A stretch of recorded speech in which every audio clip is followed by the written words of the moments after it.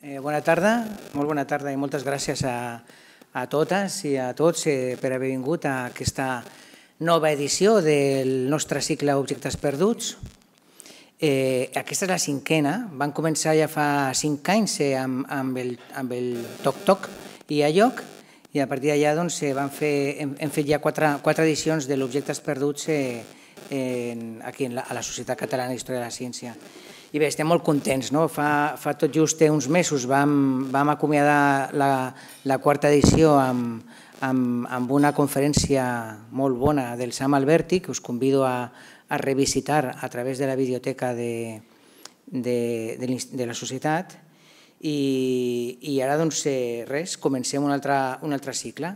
Eh, aquesta és la primera, la primera de les sessions i, i per a mi doncs, és una, una, una, una gran satisfacció doncs, doncs, que aquest acte, doncs, eh, eh, aquesta primera eh, eh, sessió doncs, estigui dedicada a la presentació d'una revista, d'un número especial de la, de la revista Dynamis, que vam publicar a principis d'aquest any eh, 2016 i que, i, que està, i que està dedicat a, als models anatòmics.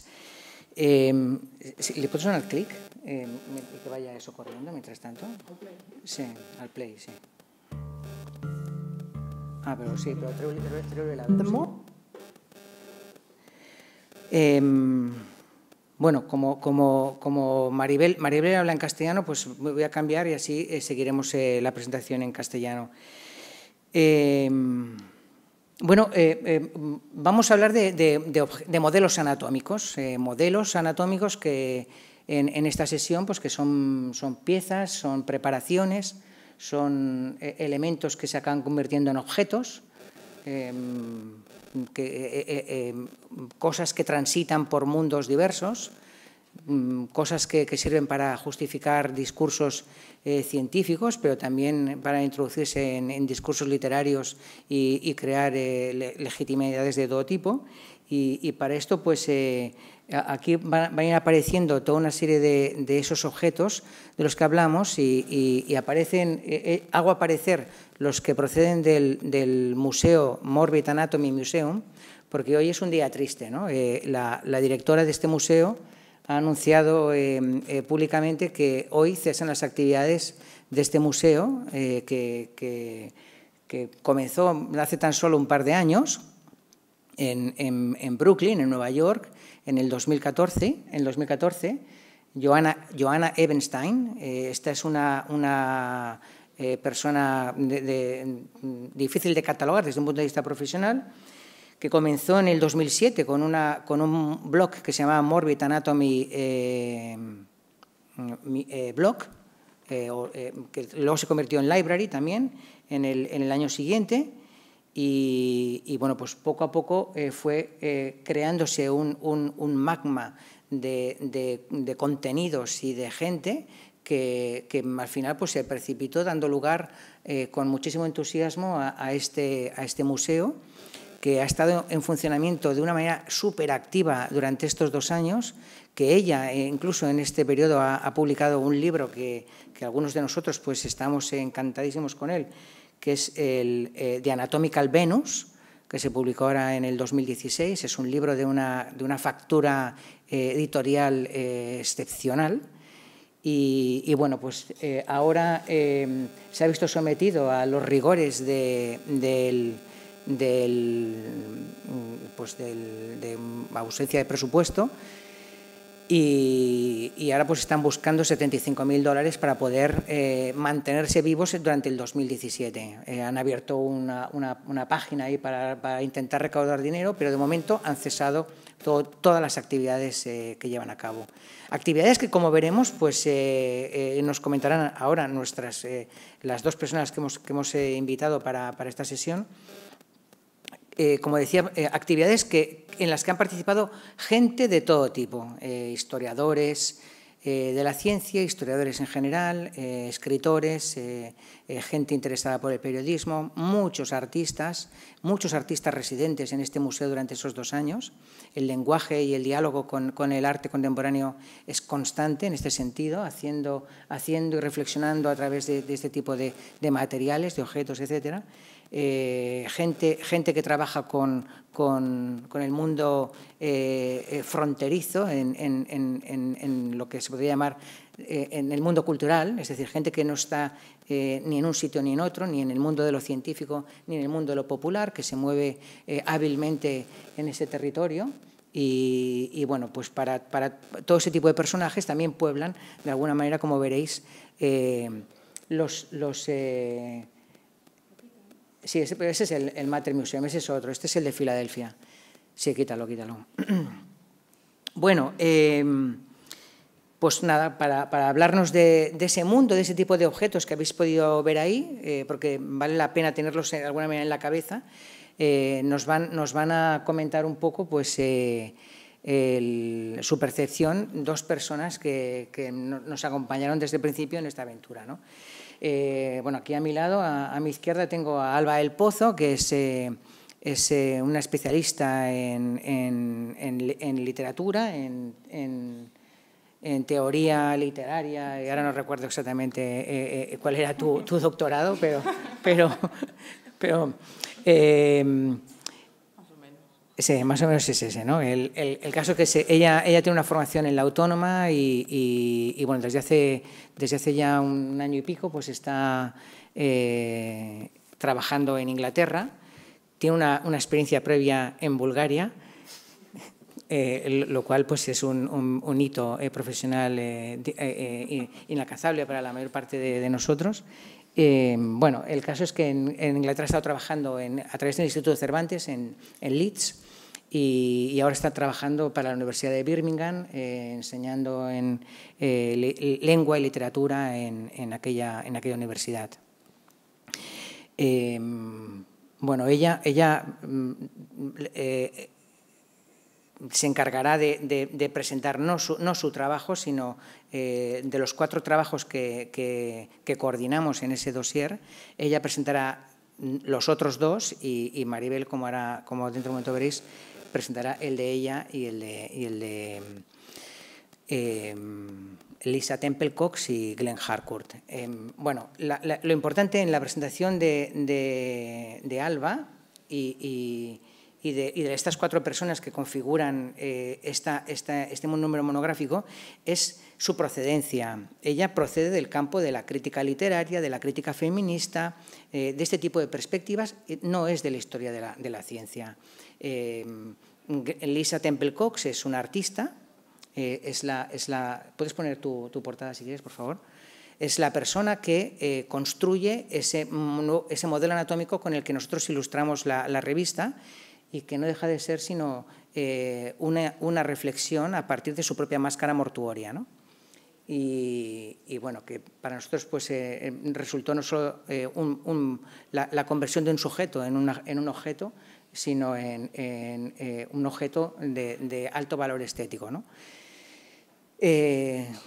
un artista y Glenn Harcourt es un historiador del arte historiador del arte, y eso pues, me da pie también a hablar eh, de, nuestra otra invitada, que es Maribel Morente. Maribel Morente, que está, es, doctora también eh, por la Complutense, es una experta en, el mundo de las representaciones eh, visuales, de las ilustraciones, sobre todo ha trabajado en el mundo, en, ilustraciones médicas en el mundo medieval. Y, bueno, pues ella da clases también en, la facultad, de, en el grado de enfermería y también en, en, otras, eh, en, otras eh, actividades del mundo de las ciencias de la salud. Eh, tiene una larga trayectoria en el mundo también de la historia del arte y de hecho cuando, cuando la conocí yo pues la conocí a través de, ese mundo, ¿no? del de la historia del arte, no de la historia de la ciencia. Es decir, se, aproxima, se aproximan todas las personas que participan en este dossier al objeto de investigación a partir de disciplinas que no son historia de la ciencia y que van a convertir este objeto van a demostrar o van a poner de manifiesto de, una manera absolutamente polifónica o poliédrica eh, cómo uno se puede acercar y enriquecer la historia de la ciencia a partir de la mirada de otras disciplinas. Bueno, pues eh, Maribel Morente eh, nos hablará del trabajo de, la, de, Alba, del Pozo, y también nos hablará del de, del de Lisa Templecox y de Glenn Harcourt y se me había, y se me había acabado, se me había olvidado de, hablar del otro trabajo del que hablará ALBA, que es el de Nike Fakiner. Nike Fakiner, algunos de vosotros la recordaréis, la invitamos aquí en, nuestro ciclo de objetos perdidos hace unos dos o tres años, dos años, y, bueno, pues una persona que conocimos en, en, Holanda, eh, la volvimos a... Nos hemos encontrado eh, eh, inicialmente con ella siempre fuera de, de, aquí, aunque ella es aparentemente no es de aquí, pero sí que es de aquí, y también es chilena y es muchas otras cosas. Y es una persona pues, que tiene una formación también ecléctica, eh, ella, ella, procede del mundo de, la historia y de la filosofía de la ciencia, se ha aproximado a, este mundo a través de, la historia de las emociones y, me imagino yo que, que nuestras eh, comentaristas ahora pues lo pondrán todo esto también de manifiesto. Bueno, la cuestión es que, como veis, eh, son cuatro perspectivas que, para nosotros eran muy importantes a la hora de presentar este dossier. El dossier tuvo sus dificultades inicialmente porque precisamente porque no era gente de historia de la medicina ni de historia de la ciencia, en una revista como Dynamis, que en este sentido eh, eh, tenía inicialmente un comportamiento un poco clásico, pero eh, mm, rápidamente se dieron cuenta de que, no tenía ningún sentido. ¿no? la aportación que podíamos hacer era, como, algunos de vosotros conocéis, pues era, podía ser enorme. Y, bueno, y todo esto nosotros, como grupo de investigación, eh, GAMMUSANA, el grupo de investigación sobre gabinetes y museos eh, anatómicos en Barcelona, Madrid, eh, siglos XVII, XVIII, XX, pues nos ha servido de mucho porque de alguna manera este, este dossier y la introducción que, que, le precede, pues también escrita, firmada por mí y escrita con, con, Pepe Pardo y con otras personas, eh, en realidad eh, pues, eh, nos, servía bastante para, configurar lo que acabó siendo un proyecto de investigación, la solicitud de un proyecto de investigación que finalmente pues, fue concedido por el, por el Ministerio. ¿no? Y, bueno, pues todo eso pues, nos ha servido para estar muy satisfechos sentando las bases de, historiográficas, conceptuales, de un proyecto que pretendemos muy ambicioso y que poco a poco pues, consideramos que este es un fruto eh, de los primeros y, que, poco a poco irán apareciendo más. Ya, sin más, eh, ya me he alargado muchísimo, pues eh, daros las gracias de nuevo y, bueno, vosotras, la idea es que, ellas dialoguen, que ellas hablen y luego, pues al final, daros la palabra a, vosotras y, nada, pues todos hablar un ratito sobre, sobre estas cosas. ¿De acuerdo? Muchas gracias.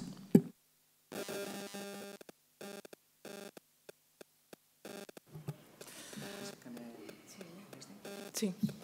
Eh, bueno, primero de todo, gracias a Alfons y gracias a la Sociedad Catalana de Historia de la Ciencia por invitarme y creo que invitarnos eh, y por crear un espacio físico de diálogo, porque a veces uno dialoga por mail o dialoga en el monográfico de Dynamis, pero no llega nunca a ver en cuerpo, precisamente con la importancia que tiene el cuerpo en todo esto, eh, y no llega nunca a, bueno, pues hablar, incluso a tomar un café como hacíamos antes, o hablar aquí y a dialogar sobre lo que uno hace o a lo que uno le interesa. Así que, bueno, muchas gracias. No solo por darme la oportunidad también de publicar en Dynamis, que es una revista que efectivamente por mi formación quizá yo no hubiera publicado nunca, sino por, por poder participar también de esa historia de la ciencia que, como tú muy bien dices, es polifónica o parece que cada vez es más polifónica. Em, a la hora de preparar esta presentación, voy a introducir, como ha dicho Alfons, yo voy a introducir el artículo de Maribel y voy a introducir, bueno, introducir, comentar, explicar el artículo de Nick Fakiner, precisamente para, con esta idea de generar un diálogo, Maribel introducirá el mío y el de Lisa Temple Cox y Glenn Harcourt.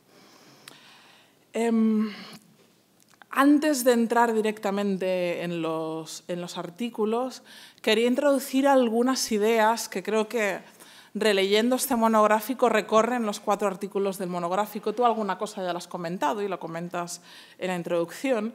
Y claro, quizá la primera pregunta, y no sé si haría falta justificarla en este contexto, es ¿por qué modelos anatómicos? porque es importante, es interesante, porque tiene validez científica hacer un monográfico, un grupo de investigación incluso sobre modelos anatómicos, que bueno, no dejan de ser figuras de cera. Mm. Y yo creo que el monográfico pone de relieve, de hecho, la importancia de la, cultura material, la importancia de la circulación de objetos y de discursos científicos, a veces unidos y a veces separados también. Eh, y creo que también porque explica muy bien cómo la modernidad ya no solo ha imaginado el cuerpo, sino ha producido el cuerpo. Y cuando digo cuerpo, no digo cuerpo ideal, que también, sino sobre todo, o al menos si yo barro para casa y mis propios intereses, el cuerpo otro, el cuerpo exótico, el cuerpo enfermo, me atrevería a decir incluso el, cuerpo femenino, y creo que este tipo de objetos, eh, no solo modelos anatómicos, sino en general los objetos científicos, revelan cómo la modernidad eso ha imaginado los límites de la normalidad y de la anormalidad. Límites que además a veces son muy ambiguos y a veces pueden ser, creo yo, muy borrosos. Em, quería comentar también un poco la necesidad de esta historia de la ciencia polifónica, multidisciplinar, porque Ahora, últimamente todo el mundo habla de interdisciplinariedad y multidisciplinariedad, pero luego a la hora de la verdad es muy difícil hacer cosas multidisciplinares. Eh, evidentemente no hace falta, menos otra vez en este contexto, justificar la existencia de la disciplina de historia de la ciencia, pero sí que creo que hace falta destacar eso, la, la, la polifonía de voces que componen el monográfico y has comentado muy bien nuestras propias trayectorias Ninguno venimos de la historia de la ciencia pura y dura. Yo soy licenciada en Filología Española, de hecho, y mi, tesis doctoral fue sobre literatura y enfermedad. Claro, ahí tuve que acudir a, mucho, a algo más allá de la literatura y el discurso de la historia de la ciencia me enriqueció mucho mi perspectiva y no, no habría podido hacer la tesis sin, esa aportación. Quiero pensar, cuando estoy optimista, que yo puedo aportarle algo también a la historia de la ciencia. Em, como comentaba también, creo que este monográfico no solo explica la forma de ver y producir el cuerpo a nivel histórico, sino que también creo que explica, y mucho más de lo que nos pensamos, muchas cosas sobre nuestra propia mirada. Porque a veces pensamos en la mirada de los médicos, la mirada del público de esos objetos en el 19, pero creo que explica muy bien bueno, la construcción histórica de nuestra, de nuestra mirada y de nuestra propia fascinación y de cómo el propio concepto de fascinación tiene raíces históricas y subjetivas en las que, de las que formamos parte de una forma que quizás es muy difícil eh, quitárnosla. Antes, cuando estábamos, estábamos en el Colegio de Médicos viendo la exposición, muy recomendable, por cierto, sobre ginecología, y hablábamos un poco de algún cartel que había tenido que ser retirado y de cómo algunos, algunas imágenes seguían siendo no, no, sé si obscenas o molestas para según quién. Y yo decía, bueno, estamos en, el público del 19 todavía, todavía estamos en, en un modo de ver que a lo mejor puede ser muy parecido. Y por eso quizá también nos fascinan estos objetos o nos parecen dignos de observación y de atención. Em, y finalmente una serie de palabras clave que creo que son ineludibles para entender este monográfico y que a mi juicio recorren, yo creo que los dos artículos que voy a presentar y creo que luego también los que, los que vas a presentar tú, que son pues, de términos como visualidad, porque estos objetos son profundamente visuales. Eh, la palabra exhibición, que es una palabra que a mí me gusta mucho, estos objetos no son solo objetos de aprendizaje, sino que acaban convertidos en objetos de exhibición y para que un objeto se exhiba tiene que haber alguien que mire también la idea de normatividad que he comentado antes, la idea de corporalidad, la idea de espectacularidad, que también es una palabra que me gusta mucho, muy relacionada con la idea de exhibición. Estos objetos, en cierto modo, sobre todo en algunos de los artículos que presentaré, también formaban parte de un espectáculo, no eran solo objetos de, de enseñanza ni objetos pedagógicos. Y sobre todo también la permeabilidad de fronteras entre ciencia, entre cultura popular, entre arte, que quizá hace que la disciplina de la historia de la ciencia, o al menos en este caso este monográfico, sea tan polifónica, porque la historia de la ciencia no es solo una historia de las ideas, sino que es una historia de los discursos, de los poderes, pero también puede ser una historia estética. y creo que hoy veremos un poco por qué. Eh, paso ya a presentar el artículo de Maribel Morente. Luego podemos dialogar y comentarlo, eh, titulado, como es, La ceroplástica de Ignacio Lacaba en el Colegio de Cirugía de San Carlos de Madrid. Em, este artículo básicamente eh, ilumina al lector sobre las primeras creaciones anatómicas de cera en España. De hecho, me pareció muy interesante porque yo no tenía ni idea de cuándo se habían empezado a producir en España. A finales del siglo XVIII, creo que hablas justamente hacia 1786, ¿verdad? Eh, particularmente el artículo se centra en Ignacio Lacaba, el primer disector anatómico del Colegio de Cirugía de San Carlos de Madrid, a finales del, del siglo XVIII, como decía, y Maribel evalúa eh, como bajo la corona ilustrada, que eso también es muy importante, ciencia y expresión artística, porque además incides mucho en el valor artístico de estos objetos, no solo científico, se dieron de la mano para crear estos primeros materiales, estos primeros objetos hechos en España. Eh, el artículo explora cómo esta colección se inicia en 1786 con el señor Lacaba, el primer disector de ese colegio del Real, eh, de ese Real Colegio perdón, de Cirugía de San Carlos de Madrid. En primer lugar, el artículo analiza el contexto histórico que posibilitó este fenómeno en España. Y aquí hablamos ya de una nueva manera de ver el mundo, volvemos a la idea de visión y de visualidad, de ver el mundo, de ver el cuerpo, en el que la anatomía adquiere importancia por sí misma y en el que bajo esa corona ilustrada y bajo el patronazgo también de nobles ilustrados, eh, se hace posible este proyecto, que creo que en cierto modo no deja de ser un proyecto ilustrado, un proyecto pedagógico, un proyecto educativo. Me llamó la atención también, el texto revela cómo la Cava trabajó estrechamente tanto con colaboradores italianos como que también eh, comentas que había viajado por Europa, porque mencionas Francia para adquirir algunas de las, de las figuras. Me llamó mucho la atención también cómo, de hecho, estamos hablando de un fenómeno a nivel europeo, de una red comercial, pero también de una red de aprendizaje y de intercambio de saberes. Eh, también comentas la idea del doble objetivo de, estas, de, estas, eh, de, estos objetos y creo que es algo que nos encontramos a lo largo de todo el monográfico, eh, que son objetos de, objetos de aprendizaje pero también objetos de exhibición pública. Y son objetos que mantienen, creo que, una relación ambigua con el cadáver, porque evidentemente duran mucho más que un cadáver, pero también son más bonitos que un cadáver. E igual que el cadáver, son objetos de exhibición, porque comentas que el mismo Ignacio Lacaba era también disector y eh, las disecciones estaban abiertas, y cito, a cualquier persona decente. Hablas incluso de que tuvo que ampliar horarios de las disecciones para que pudiera eh, asistir más público. Eh, me llama mucho la atención también la combinación, en parte creo yo que derivada del, punto anterior, eh, entre realismo, hablas de estas imágenes, entre realismo y voluntad estética. Porque estas figuras de cera, firma Maribel, tenían cierta relación con el cadáver diseccionado, pero no se parecían al cadáver diseccionado, son mucho más bonitas, de hecho. Y podríamos decir que presentaban el cuerpo de una forma mucho más agradable a la vista y además siguiendo unos determinados patrones, patrones estéticos.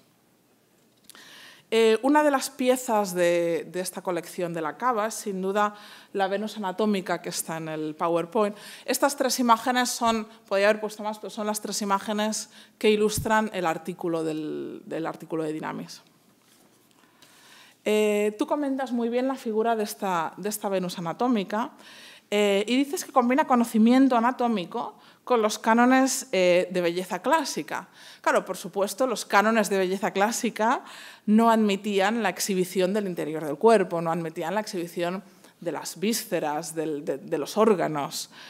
Em, y creo que es una reflexión que nos lleva precisamente a, pensar sobre la naturaleza estética y visual de estos, de estos objetos aprovechando además que la autora está aquí, además de presentar el artículo, que he hecho un resumen así muy rápido, aprovecho también para realizar una serie de reflexiones sobre el trabajo, que luego ya comentaremos, al igual digo tonterías. Em, y si eso ya más adelante, luego las convertimos en preguntas y diálogo. Me llama mucho la atención cuando hablas de estas imágenes de cera, dices que combinan la fascinación por el realismo junto con la repulsión por el exceso. Em, además, insertado en una voluntad entre médica y artística. Y a mí me recordó, claro, vuelvo a barrer yo para casa, la mezcla de entre realismo y exceso, me recordó mucho, de hecho, a las corrientes artísticas del XIX, me recordó mucho al naturalismo, por ejemplo, que empieza con una voluntad pretendidamente realista, de no, yo voy a mostrar la realidad tal y como es, para acabar en unos excesos decadentistas de demostrar el vicio y lo más bajo de la sociedad y lo más sórdido y lo más eh, obsceno posible, que no hasta qué punto se podría relacionar, o no, no lo tengo claro, es una idea que me rondaba por la cabeza, no sé hasta qué punto se podría relacionar con esta dicotomía de estos, de estos objetos em, de cera. Eh, y con esa idea de, con esa complacencia en las descripciones morbosas, o incluso me atrevería a decir con la invención de la mirada morbosa o la invención del morbo, que eso es algo que, de lo cual también podríamos hablar largo y tendido. Esta dicotomía entre objeto de exhibición y objeto de aprendizaje médico, entre realismo y repulsión por el, por el exceso, eh, me parece también un claro síntoma de, de modernidad, pero además, de hecho, mencionas en el artículo que eh, cómo de lo asombroso se pasó a lo morboso. Cómo se inventa, y no sé hasta qué punto es un síntoma de modernidad, la invención de lo morboso, la invención de una mirada que pretende ser, que pretende ser morbosa. Y hablas también de la trivialización de estos objetos. No sé si por trivialización entiendes que dejaran de ser un objeto médico para pasar a un objeto de placer visual pero luego lo, comentamos, me llamó mucho eh, esa idea. Y de hecho creo que esta dicotomía, eh, unida por una línea muy fina y a menudo muy borrosa, nos va a conducir luego al, artículo de Fakiner em, sobre por qué junto a esos espacios modernos, panópticos, si queréis, en, en sentido Foucaultiano, signos de higiene, de civilización, pero también como el museo moderno, el Museo Nacional moderno, eh, signos sobre todo de claridad visual, surgen otros, surgen otros espacios, y estos objetos creo que transitan entre ambos espacios, eh, no como excepciones, sino como unidos a la otra cara de, la moneda, basado pues eso, en, el freak show, en la barraca de feria, en las colecciones anatómicas populares, pero surge también el boyerismo, la perversión, el striptease, Em, y toda una serie de aparatos ópticos basados en el placer de descubrir lo oculto. Eh, Maribel también menciona, de hecho, ya lo he comentado antes, esa nueva forma de mirar la realidad, y creo que tú te refieres más a una nueva forma médica de mirar el cuerpo y el sujeto. Eh, creo que también se puede trazar una línea con el valor doble y omnipresente de estos objetos como fuente de conocimiento, pero creo que también como fuente de placer. Eh, y estoy citando aquí a un señor que se llama Peter Brooks, que habla del régimen escópico de la modernidad, del régimen visual de la modernidad. Luego otros han citado esa idea y han desarrollado esa idea, tampoco me voy a meter mucho. Eh, de cómo la voluntad de verlo todo, eh, que surge de los discursos científicos, solapa la voluntad de conocimiento con la voluntad de placer eh, Brooks habla de epistemofilia y escopofilia, si tengo que usar palabras así complicados. Eh, permitiendo desarrollar, por lo tanto, un marco cultural en el que contemplar a una Venus anatómica, que tampoco es bella de forma gratuita, como ya todos sabemos, eh, puede generar un sentimiento ya no solo de aprendizaje médico y ginecológico, sino un sentimiento de placer morboso, si queremos, en el espectador. Y creo que por eso el texto de Maribel, en el que plantea la aparición de estos objetos, se articula muy bien con el texto de Nike Fakiner, que paso a presentar a continuación, eh, que precisamente habla ya de la disposición de este tipo de objetos, del tránsito de este tipo de objetos hacia otros espacios mucho más ambiguos. Eh, el artículo de, de Nike Fakiner eh, se centra en las piezas anatómicas, igualmente seguimos en la línea de objetos anatómicos, pero esta vez las enmarca en el espacio de un museo anatómico en Dresden, propiedad de Gustav Siller, fundado en 1888. Es decir, estamos en un salto cultural aquí de 100 años y creo que en 100 años cambia mucho la forma de ver y percibir estos objetos. Eh, el artículo se centra sobre todo en la relación entre espacio y figuras anatómicas y cómo esas figuras cambian su sentido y significado al pasar de ser útiles médicos a objetos de exhibición. Es decir, creo que ese artículo un poco recoge algunas de las reflexiones que tú haces y las aplica a un caso práctico. Perdón. Em, ya que eh, Gustav Schiller integró estos espacios en, una, organización determinada y además eh, rodeándolos de una serie de textos y paratextos destinados a crear en el espectador una serie de emociones determinadas. Ahora veremos, mm, ahora veremos cuáles.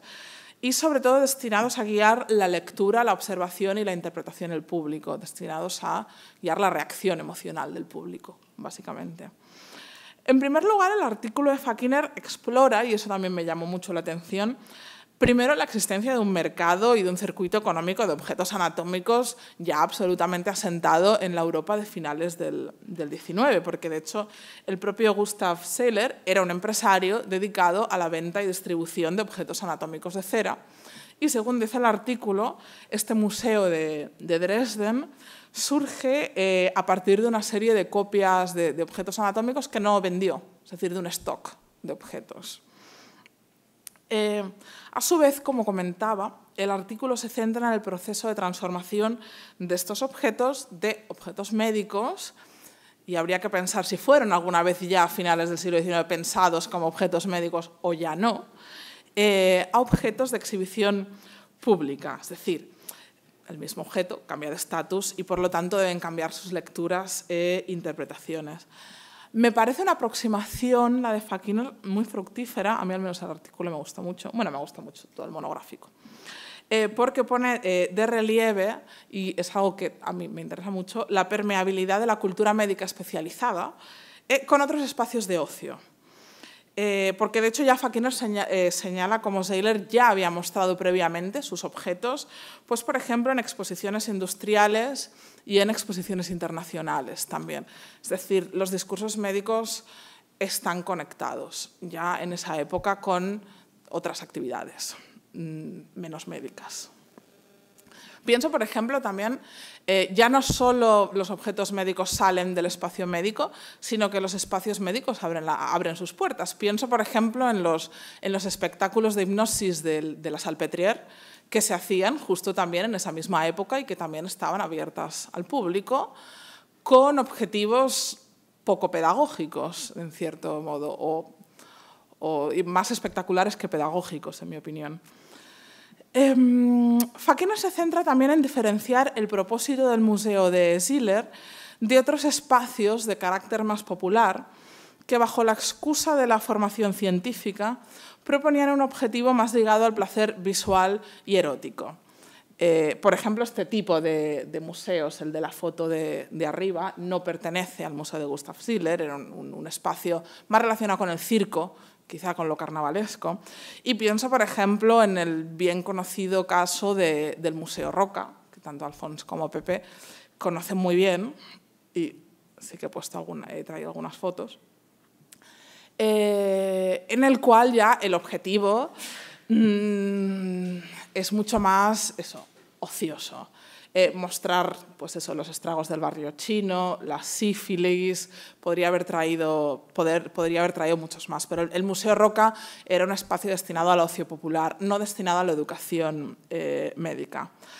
El Museo de Dresden de Gustav Seiler, sin embargo, presenta un proyecto destinado a la pedagogía, que se sitúa al amparo además de los proyectos educativos y higiénicos públicos de finales del XIX eh, y además el objetivo muy claro de Seiler era diferenciarse de esto eh, y mostrar al público, eh, por ejemplo, los peligros de una vida insana con la exhibición de modelos de órganos dañados por el alcohol, lecciones de anatomía para fomentar el autoconocimiento sobre el propio cuerpo de una forma racional.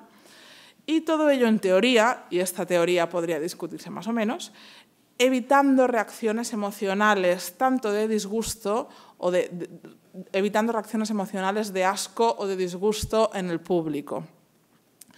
¿Cómo hacía Seiler para evitar que su museo se convirtiera en esto?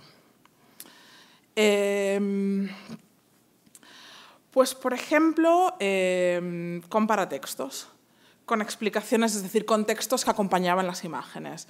Eh, Nike Fakiner explica que los, textos que acompañaban las imágenes eran textos, creo que ella dice, de, de unas ocho páginas, eran textos mucho más largos de los que se incluían en los, museos populares. Eh, y eran textos destinados a formar al público. También habla de la adaptación de figuras y del cambio de la representación de la figura.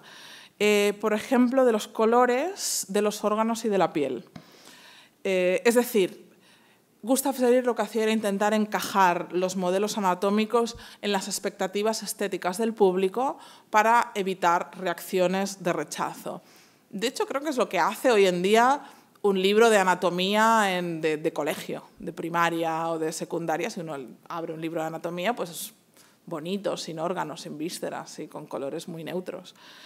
Eh, Fakiner también destaca que como Seiler insistía en que el museo se abría para todos los públicos y solo durante el día. Claro, eso nos hace pensar que había otros que no eran para todos los públicos y tenían también sesión nocturna. Y además eh, evitó la existencia de lo que se llama gabinete extra o gabinete secreto, no sé si lo he traducido al inglés, normalmente destinado a la exhibición de modelos relacionados con enfermedades venéreas. Es decir, esto, roca style, digamos. Em, Gustav Zeller evita eso, evita una cámara oscura, un, cuarto oscuro, se podría traducir como cuarto oscuro, evita el morbo e intenta que su eh, museo sea un museo realmente educativo y no uno eh, destinado al ocio y al morbo. Y ahí volvemos otra vez a esa idea de obtener placer visual de algo que en teoría es malsano. Eh, estas precauciones de Seiler se enmarcan muy bien en el, contexto de finales del siglo XIX, en el que el placer visual estaba estrechamente relacionado con la exhibición de objetos anatómicos. Y vuelvo al caso del Museo Roca de Barcelona. Y estos objetos se exhibían con fines, podríamos decir, poco médicos o escasamente pedagógicos. De hecho, Fakiner también menciona cómo la prensa a menudo criticaba estos espacios como lugares que fomentaban el placer malsano y la curiosidad morbosa en lugar de prácticas relacionadas con la salud. Y ahí nos encontramos, claro, ante un marco de poderes y de tensión de poderes y de lucha de poderes. Eh, habría que pensar hasta qué punto el placer visual ante estos objetos puede ser transgresor o no, o rompe con las estructuras de poder o las perpetúa también. Y con esto ya voy terminando. ¿He hablado mucho o poco? No sé. Bueno. Eh, como comentario final, eh, creo que, aunque el objetivo higiénico de Seiler de este museo resulta evidente, y Fakiner lo demuestra de forma meridiana, o sea, el artículo es indiscutible, yo creo que para mí estos objetos, y no sé si para muchos de los que estamos aquí, siguen planteando una serie de ambigüedades ineludibles que muestran eh, lo poroso de la materialidad científica respecto a la cultura popular, a la cultura visual y respecto a las estructuras del espectáculo que recorren al menos el siglo XIX y creo que hasta cierto punto el XX y el XXI porque aunque le hayamos añadido ese dudoso prefijo post a la modernidad, creo que seguimos mm, insertados profundamente en la misma modernidad que permitió que existiera todo esto. Ya dejo que hable Maribel.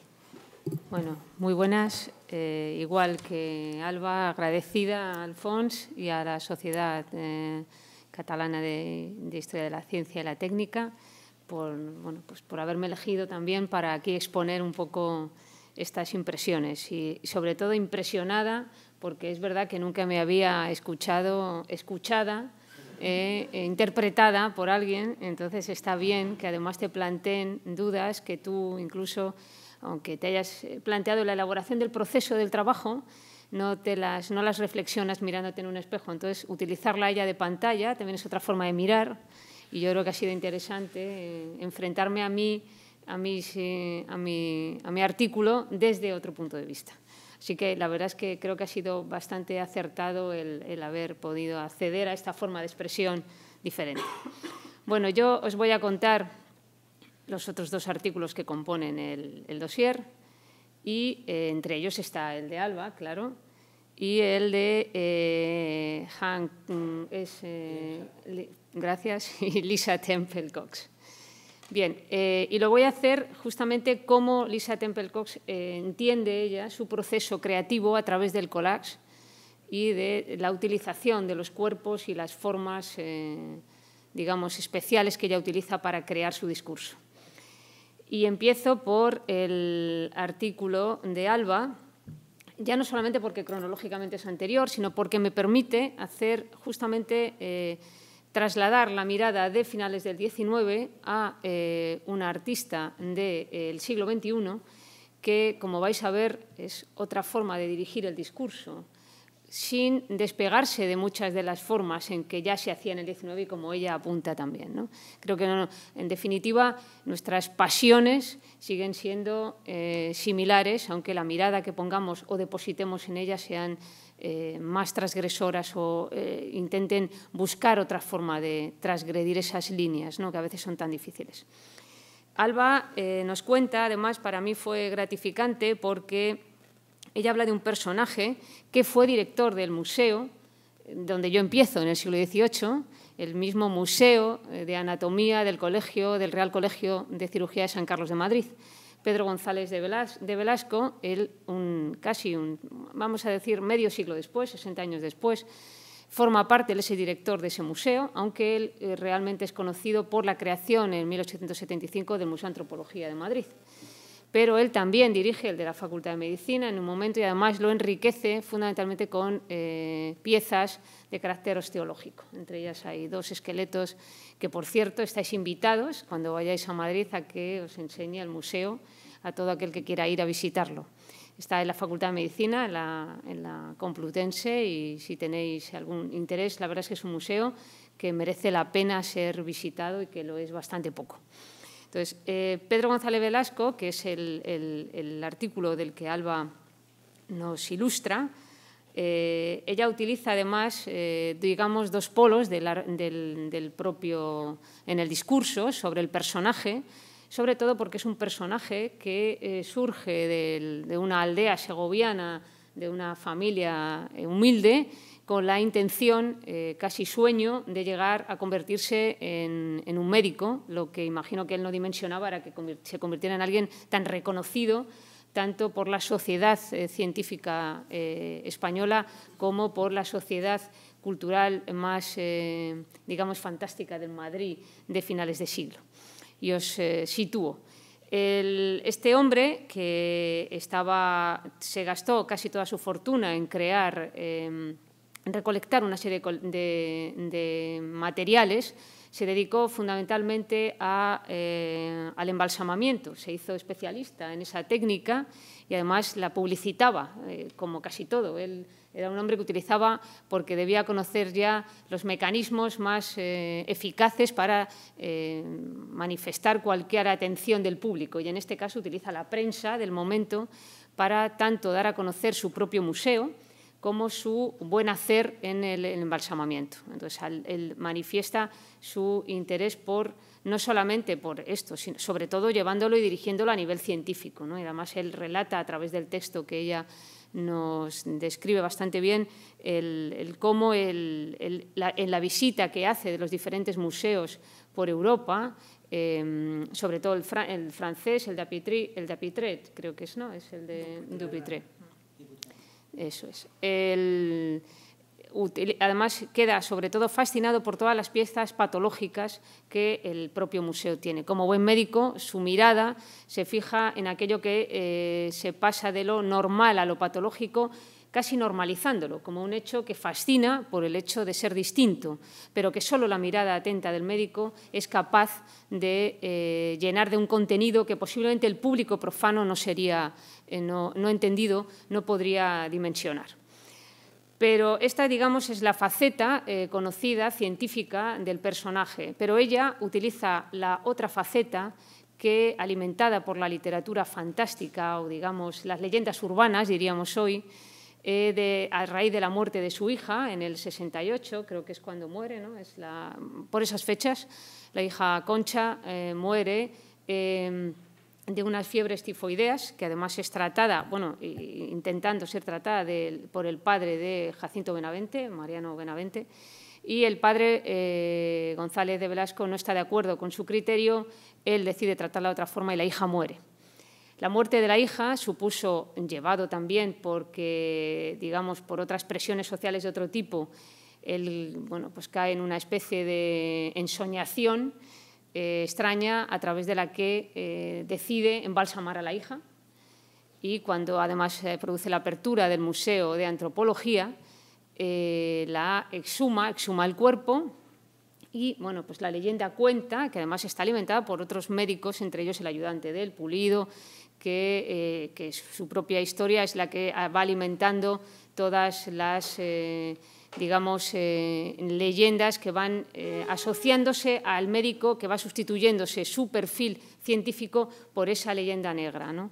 digamos, leyenda negra, porque se supone que el, González, Pedro González Velasco mm, lleva a su hija, la embalsama y la, digamos que la dota de una vida artificial, que es por eso por lo que a ella le interesa este, este discurso, por lo que significa el fin de siglo y la creación de un cuerpo artificial femenino. Un cuerpo artificial que, ha sido siempre así, pero en este caso se lleva al sumum porque el padre utiliza ese cuerpo al que le intenta dar una vida artificiosa, más que artificial, sobre todo artificiosa, a través de la, eh, participación de su propia hija en todas eh, las cuestiones domésticas. La sienta a la mesa, se supone que la pasea por Madrid, bueno, toda la leyenda que lleva eh, el, hecho de cuanto más cercano alguien está a todo lo que tiene que ver con lo científico, más fácil es alimentar esa leyenda negra. ¿no?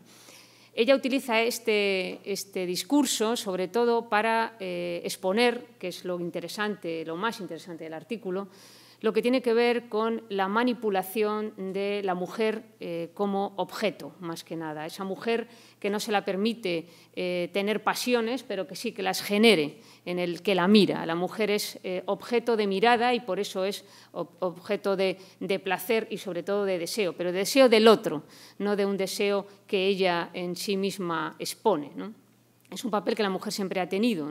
La mujer expuesta en cualquier imagen artística es siempre una mujer que es mujer o tiene esa eh, feminidad específica por la mirada del otro, que la mira de una manera determinada. Y esa mujer sabe que es mirada, para eso es expuesta así.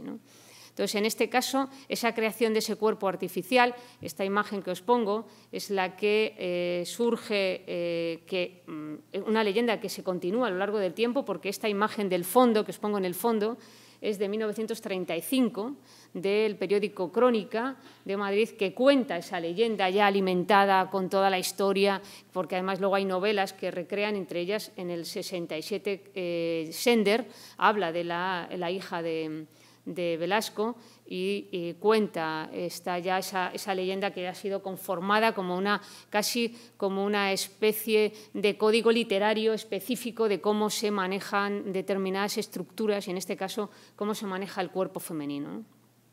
La imagen de atrás que os pongo es justamente la, del ilustrador Bayo, que, eh, como podéis ver por la imagen y si conocéis el cuadro de la morfina de Rusiñol, eh, a mí me parece que es una, imagen absolutamente copiada porque refleja esa mujer tumbada, siempre aparece esa mujer que es mucho más dócil, es tumbada, lánguida, manipulable, fácil, quiere decir, se deja. Es la mujer que se deja hacer, sobre la que se deposita la mirada masculina, y no solo la mirada, sino los deseos masculinos. No es esa, esa, mujer que rompería, la mujer fatal que aparece, como podéis ver en el cuadro del austriaco von, von Max, eh, del el anatomista, que ella también menciona en su, en su artículo, que es la imagen del médico absolutamente poseedor del conocimiento que va a hacer eh, la autopsia a esa joven a la que le separa la, eh, la, sábana para dejar entrever la belleza de esa mujer, pero esa mujer que está en una, en una situación de entrega absoluta. En este caso es un cadáver, pero es, ese, es esa, eh, esa intencionalidad del, del médico que en este caso no eh, dispone, digamos, eh, su eh, ciencia para ese control de esa mujer, que es lo que se desea, en definitiva, ¿no? ese control de la mujer. Entonces, esa imagen que, vemos también reflejada aquí en, otro cuadro, en este caso de es Enrique Simonet, La anatomía del corazón, en el que igualmente, y en este caso mucho más desvelado ese cuerpo, pero sigue siendo esa mujer esa mujer tumbada, esa mujer que, nos, que se deja, que es en definitiva de lo que se trata, ¿no? de esa, idealización del cuerpo femenino en manos del hombre, ¿no? que, es, que es como debe ser. Entonces, esa, es, esta idea, sobre todo, de la identidad femenina como transposición de los deseos masculinos, y en definitiva de la eh, intencionalidad, es la que lleva a ella a reflexionar sobre la eh, artificialización que, eh, utiliza Velasco para con su hija.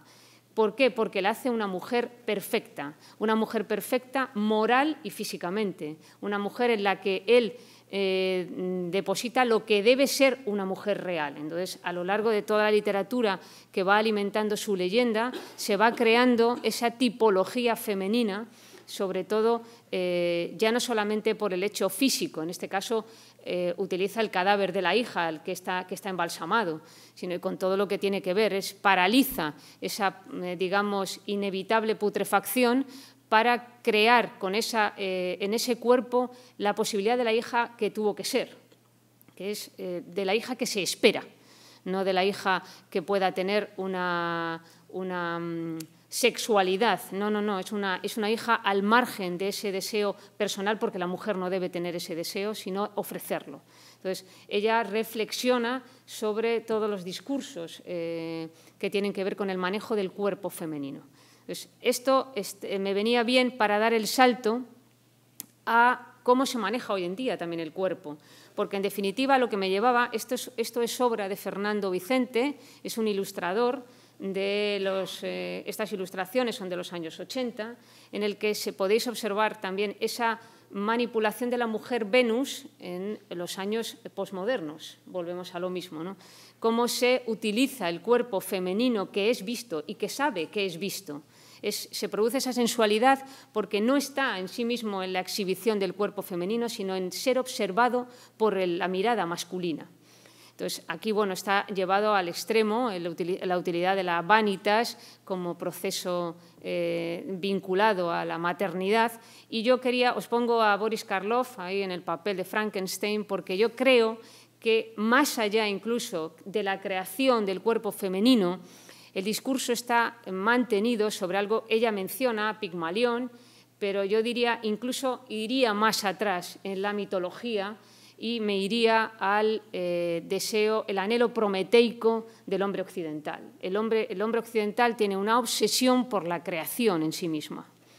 Ya no solamente en este caso como una, eh, parte más de ese anhelo está la creación del cuerpo femenino, pero yo creo que es el deseo creador en sí, el deseo de arrebatar el poder como hizo en su momento Prometeo, con él la intención de crear una raza distinta.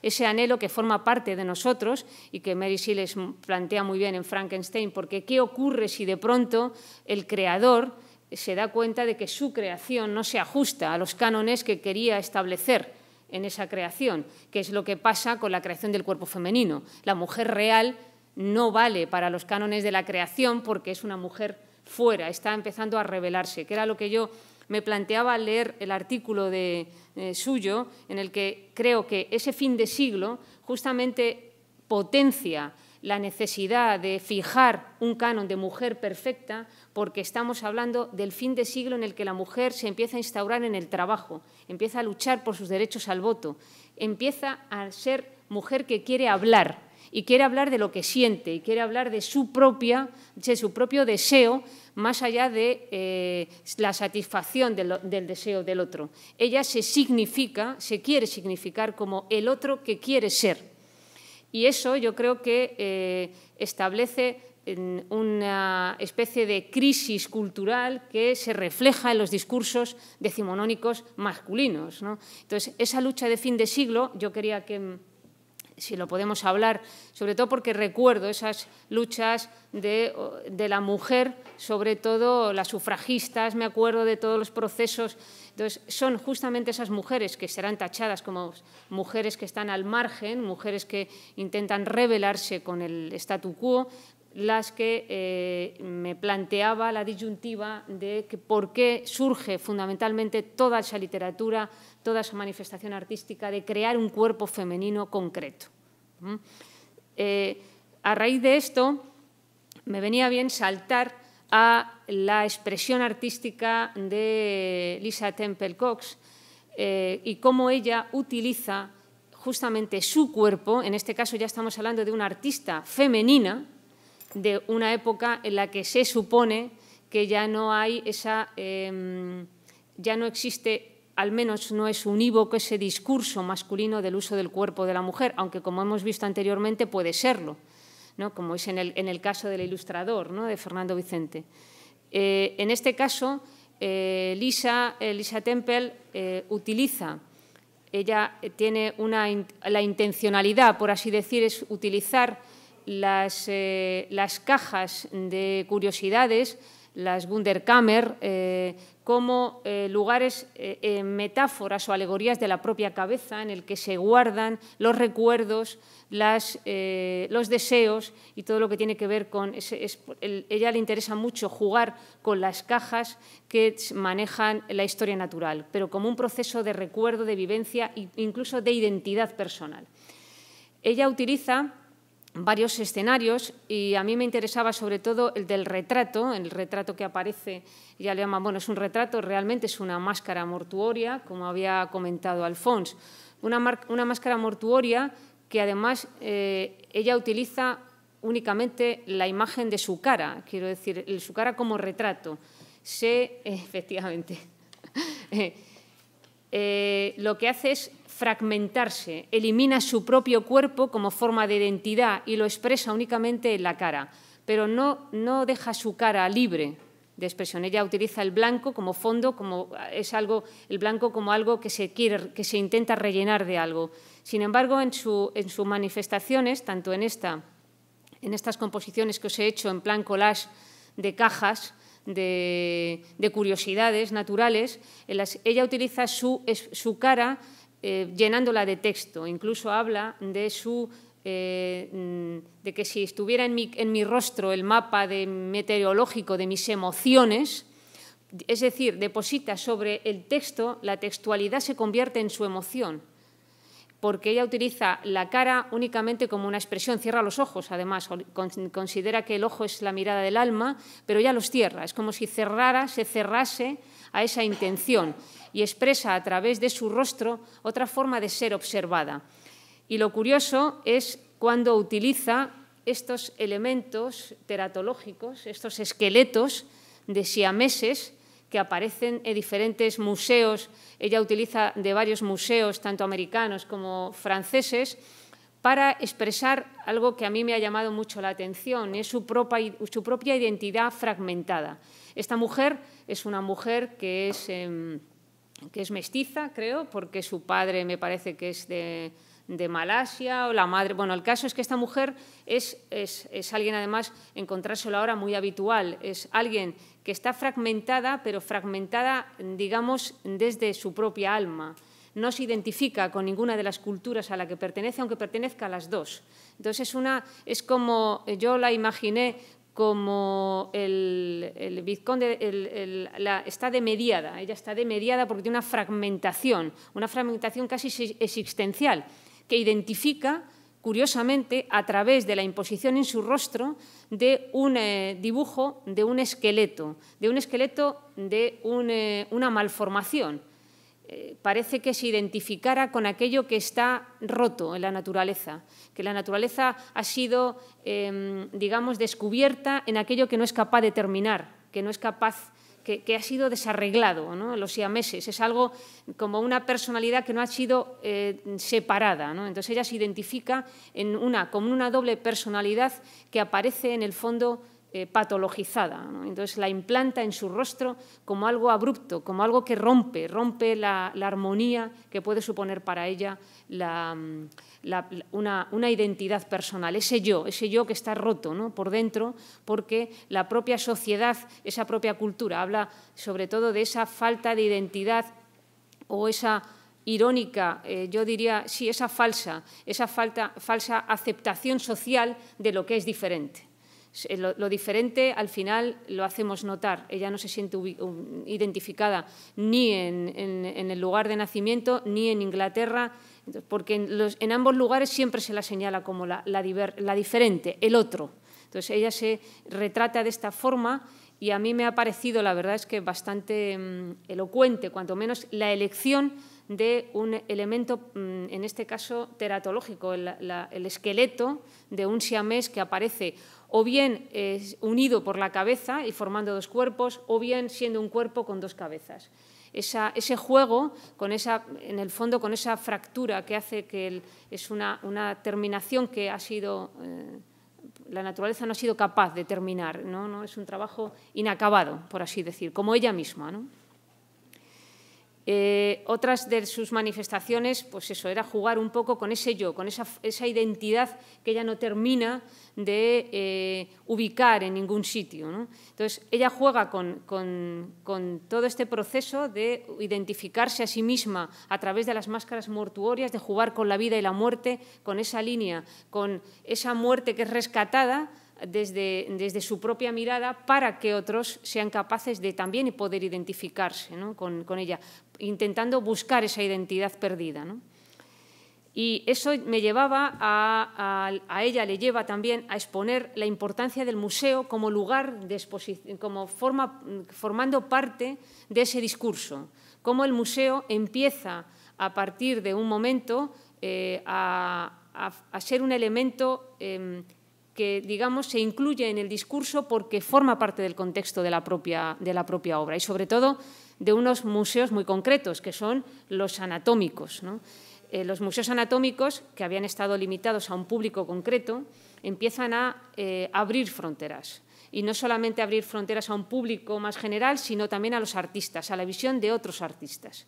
Entonces, esto que os pongo aquí, las dos primeras imágenes, forman parte de un álbum de finales del siglo XIX, que el álbum es, lo hicieron Hirsch y Pearsall, es un atlas de monstruosidades humanas. Quiere decir, el, propio, el, propio, título a mí me generaba sobre todo eh, incomodidad. Vamos a mostrar que la naturaleza hace, eh, crea monstruos, ¿no?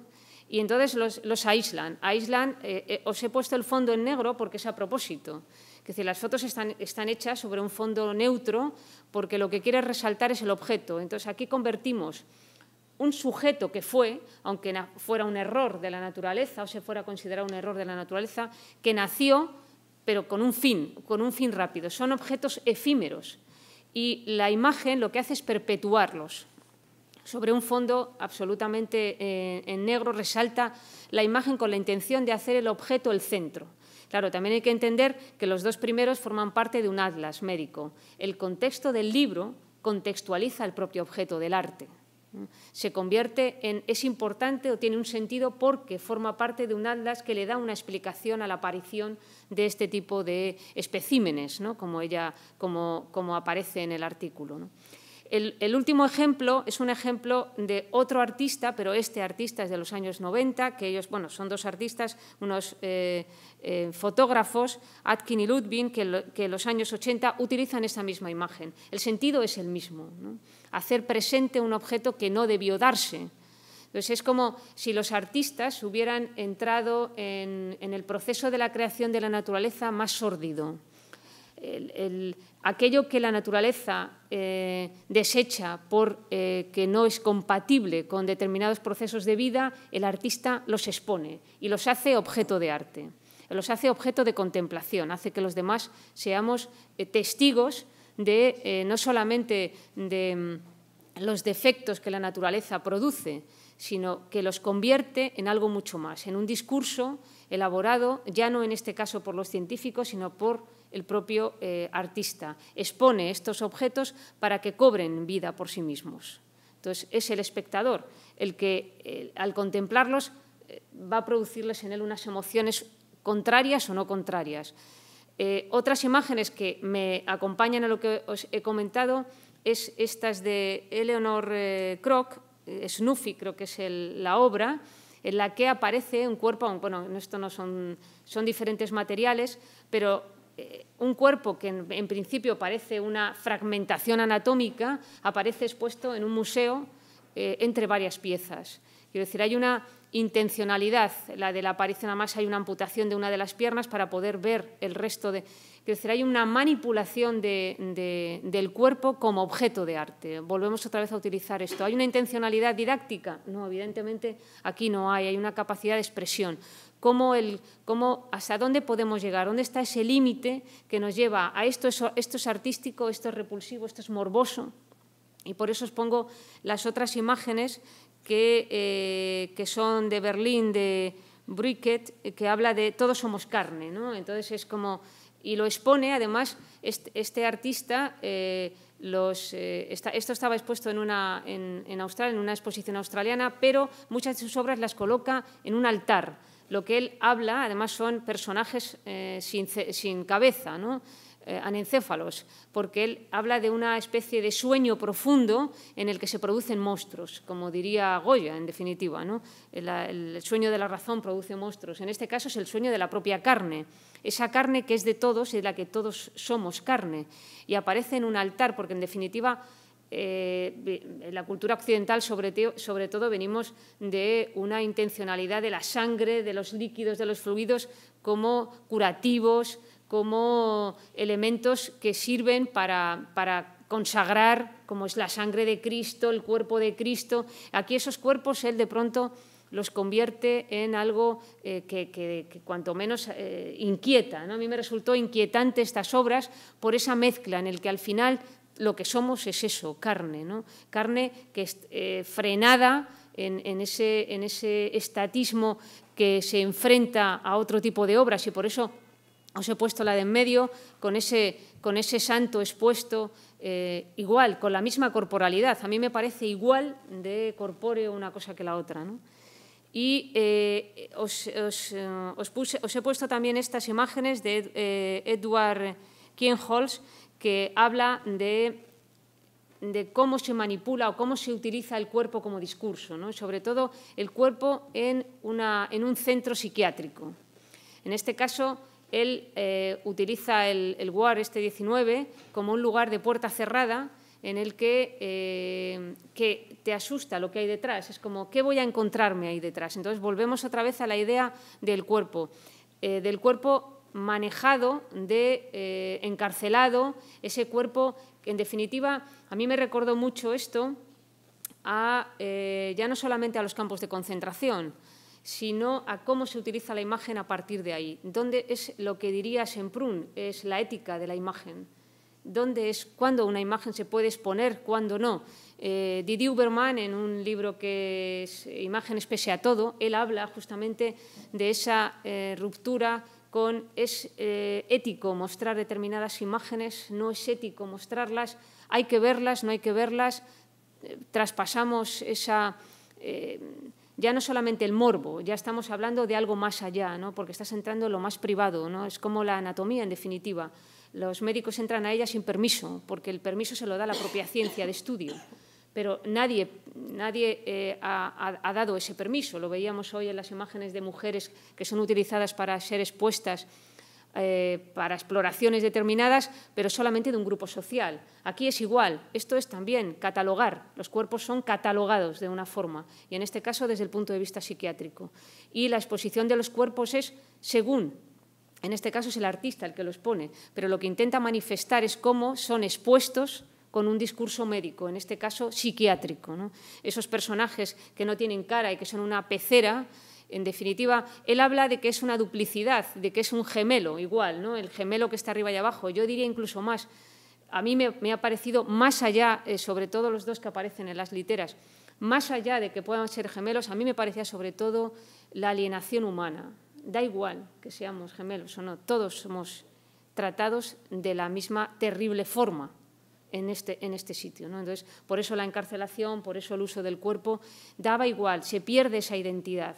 Todos somos cuerpo, en definitiva, el cuerpo que es, que somos. ¿no? Entonces, el, retirarle la cara efectivamente es retirar la, la identidad. ¿no? Es, eso es muy...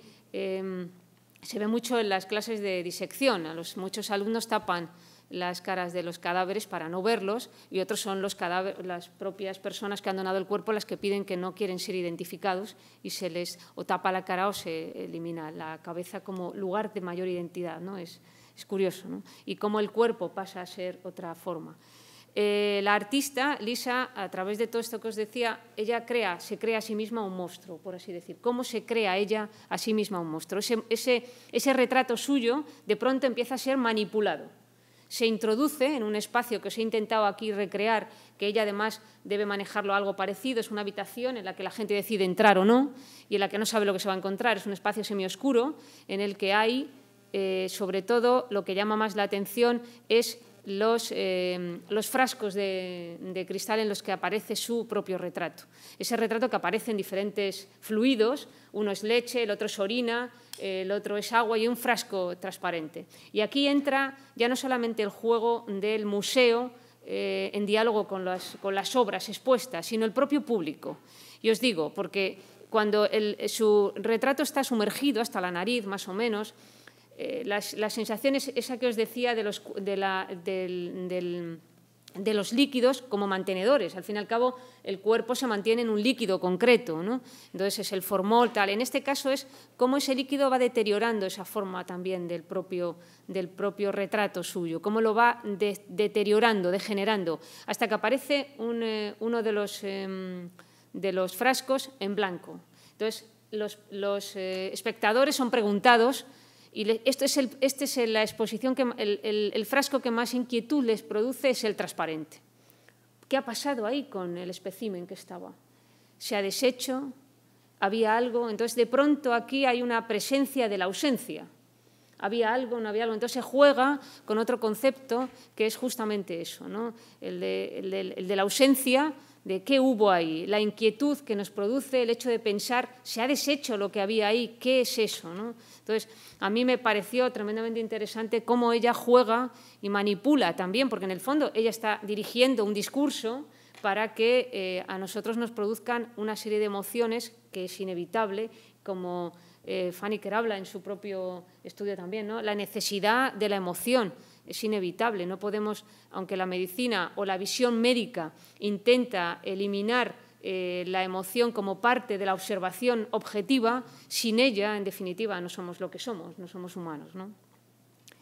Y en un momento dado, a mí me ha llamado mucho la atención al final cuando ella dice que no le producía ninguna empatía, ni, ni siquiera echaba de menos la vida de los especímenes que, que no habían tenido prácticamente vida o era muy efímera, pero sí le producía el, sí le producía empatía cuando ella con el lápiz trazaba las líneas de esos gemelos y ameses unidos. En definitiva, hablamos de lo mismo. Estamos, volvemos a hablar de la creación, del anhelo de creación. Da igual que sea con un lápiz o que sea con el deseo de, Pigmalión, de que su escultura de Galatea, que luego se la llamó, eh, adquiriera vida. Y ya para terminar, solamente os quería decir una frase de Estrella de Diego, que acaba de ser nombrada académica de Bellas Artes ahí en Madrid, que me parecen, mm, que yo creo que resume un poco todo el dossier. ¿no? Una vez más, el malentendido termina por ser el territorio fértil para la negociación de los significados, el lugar del entremedias, de la frontera y el borde, territorio en el cual la palabra y la mirada escapan, sí, pero para seguir buscando su camino pues yo creo que con esto...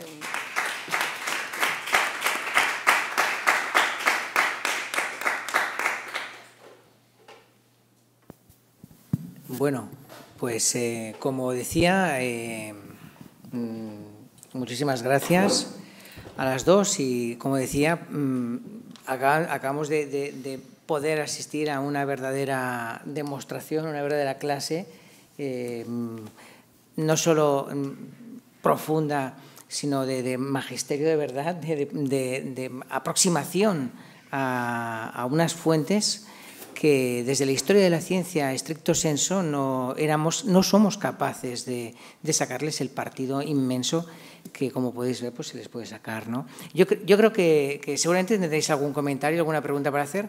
Eh, ¿Comenzamos? ¿Os habéis quedado en estado de shock? Ya es tarde y tal. Sí, claro. Ja, ja, ja, ja. Tampoc, vale. No, bueno, moltes gràcies i, i felicitacions a tots els que heu intervingut en el dossier i, i sobretot a, a, a vosaltres dos que heu fet aquí l'exposició dels continguts i la reflexió. Jo només una perplexitat. Bueno, només, eh, solamente una perplejidad, perdona. No, no. De, de poco experto en esto, quizá, ¿no?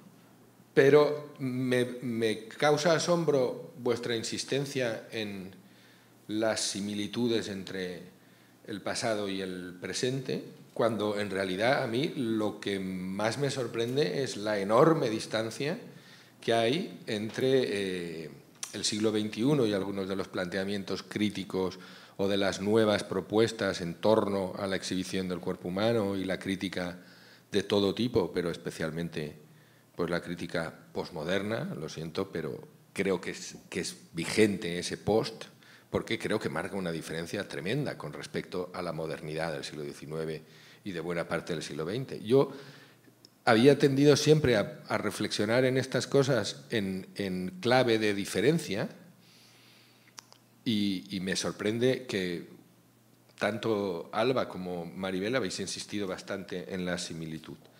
Ya sé que ahora, eh, a la hora que se ha hecho ya, es imposible que me convenzáis de, esta cuestión, pero me gustaría eh, algún tipo de eh, reflexión sobre las diferencias. Es decir, la labor, en cierto modo, interpretativa del historiador, sea del historiador del arte, del historiador de la literatura, no voy a entrar ahora en esas etiquetas, es un, un juego continuo entre las diferencias y similitudes entre el pasado y el presente para entender, muchas veces para entender el propio presente. ¿no?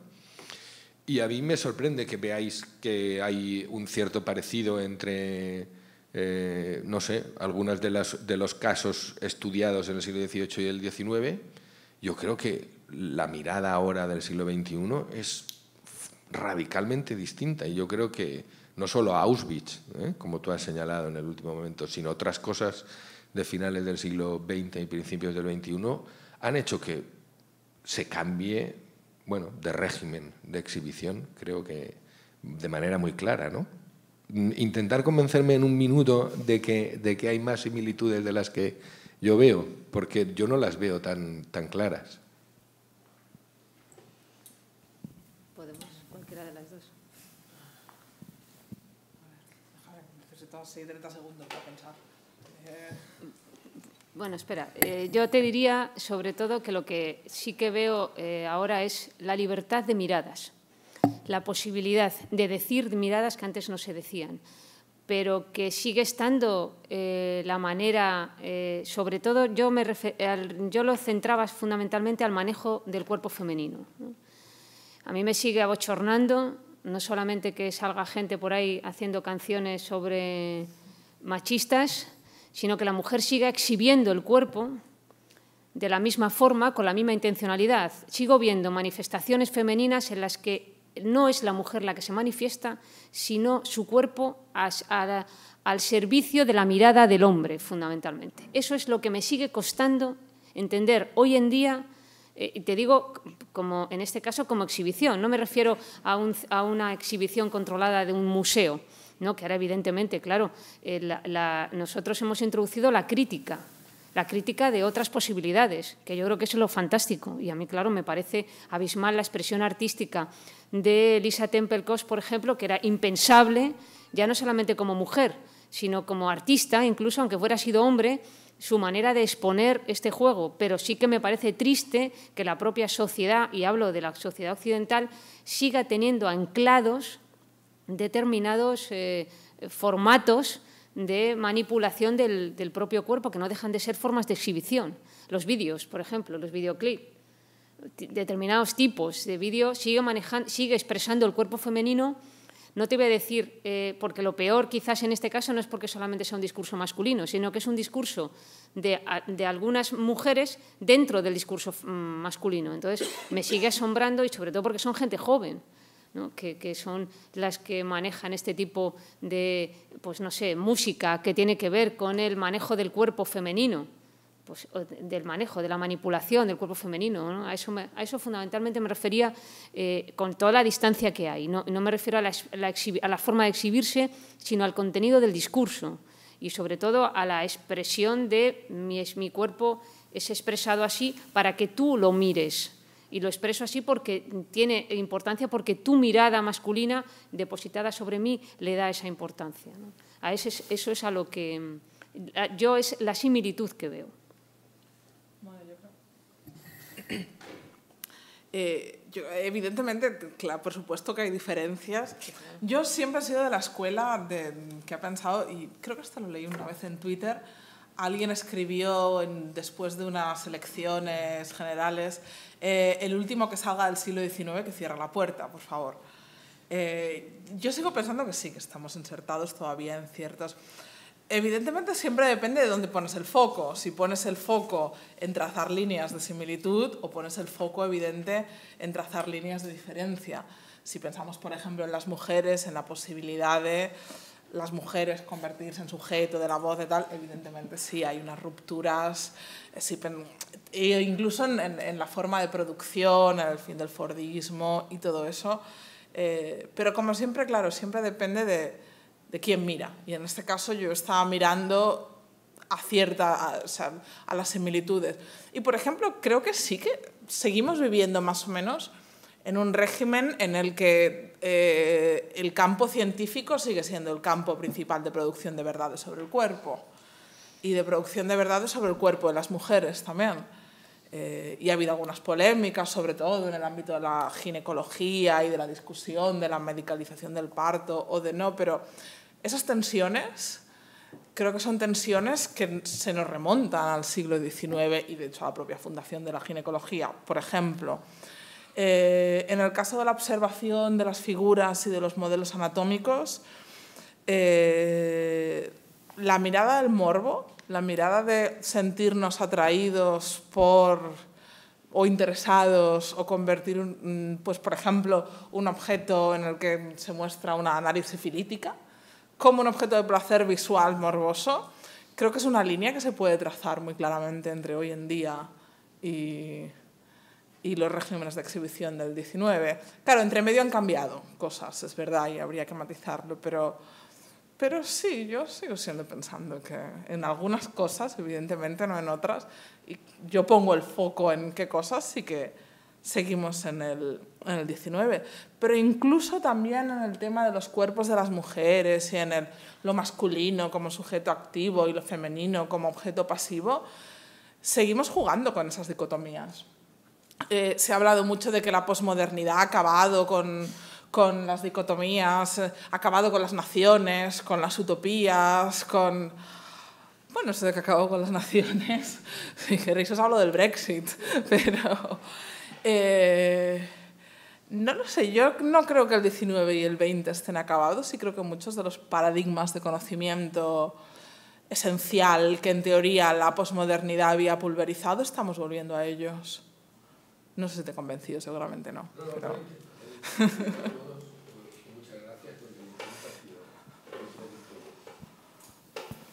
¿Qué más?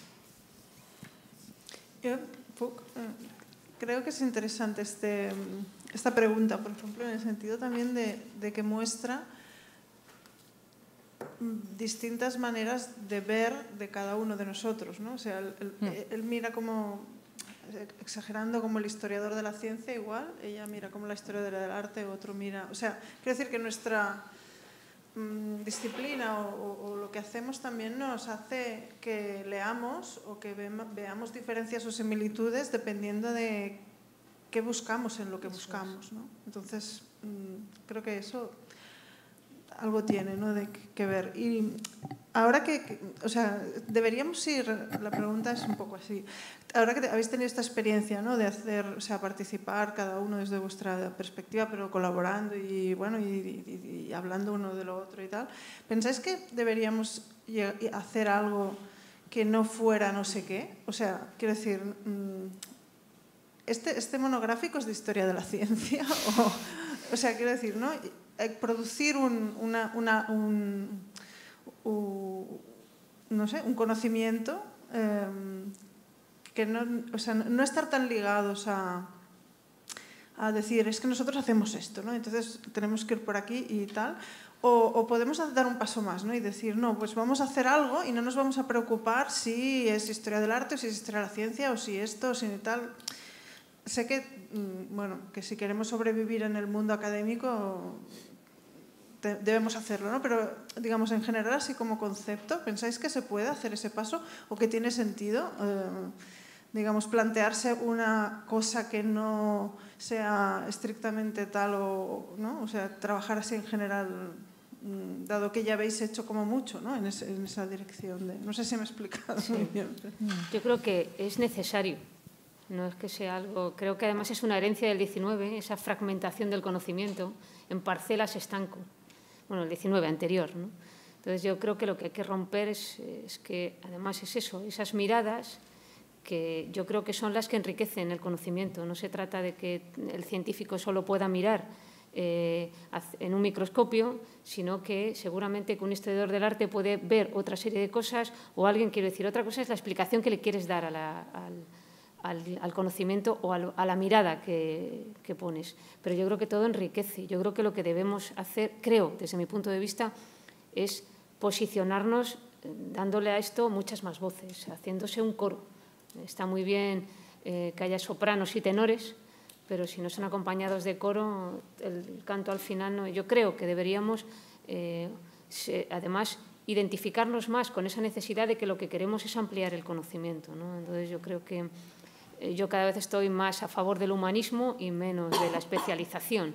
Entonces, claro, mi, enfoque seguramente que no tiene éxito en las universidades americanas, pero como no me pienso ir porque no sé inglés, entre otras cosas, pues es algo que no tengo...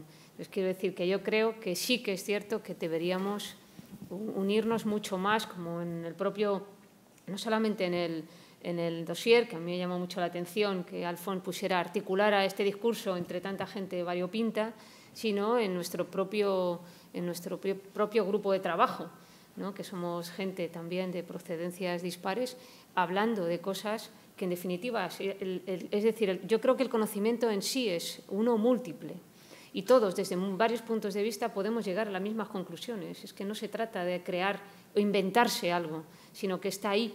Entonces, como seres humanos que somos todos, al final la mirada nos tiene que llevar a, yo creo que a, conclusiones similares, pero vistas desde, desde, diferentes puntos de vista. Y yo creo que eso es lo que enriquece, o por lo menos es mi... Sí, sí. No, ahora, mm, oyendo lo que decías tú, que está muy, muy aseñat, muy razonable y que está muy bien, pero ¿tú crees que en una revista de historia del arte este dossier hubiera tenido, o un dossier eh, como el que podamos hacer nosotros, hubiera tenido la misma recepción? No. Quiero decir que en el fondo esto sale en una plataforma Dynamis, que es bueno la revista de eh, no solamente española, porque Dynamis ambiciona llegar mucho más allá, ¿no? de historia de la medicina y de la ciencia. Yo no sé, en las revistas especializadas del mundo académico de historia del arte, por ejemplo, si esto hubiera tenido la misma acogida. No, o sea no, que... ¿Puedo yo? Sí. yo? Yo creo que, mm, no lo sé, me, cuesta responder esa pregunta. Lo que respondería eh, antes, previamente, tal vez sería la de, la de, la de Emma. Yo creo que nuestro dossier trasciende lo que es estrictamente la historia de la ciencia. ¿no? Eh, es, es, un, es un dossier, en todo caso, de, de historia. ¿no? Eh, yo, creo que, que, las autoras del, dossier eh, forman parte de disciplinas que han tenido históricamente una dificultad para comprender estos objetos como objetos de investigación. En, la historia del arte es, extremadamente evidente, ¿no? Eh, dado, dadas las clasificaciones que, comentaba sí, sí, sobre todo España, ¿eh? aquí ha sido ha costado muchísimo trabajo que entrase en visiones. Las, las, ceras, ese tipo de modelos, esto es una considerado objetos de, absolutamente menores, ¿no? Y por lo tanto estaban eh, dejados en el margen. Y, no, entrarían ya en sus propias revistas, en sus propios foros de discusión. Lo, estamos viendo, algunos de nosotros que nos hemos movido en estos círculos últimamente, pues eh, eh, lo exótico que, que resulta nuestro discurso y nuestros objetos de investigación. Eh, y, es una cosa que, si la veo muy clara en el arte, no, sé si, si, es tan clara en, el mundo de, la literatura. ¿no? Eh, no, no, lo sé, pero a veces, a veces tiendo a pensar que sí, porque eh, los, los, cuando te leo a ti, Alba, los objetos de investigación que tú tienes son, son también marginales, ¿no? son, son no, no, Yo no soy representativa. No, ya lo sé, no, pero, pero, pero te acercas a este tipo de materiales o de objetos a partir de, de, relatos que no constituyen de alguna manera lo canónico dentro de la literatura, ¿no? Es, es eh, obviamente es eh, literatura, pero todo eso donde me llevaría a responderte que no.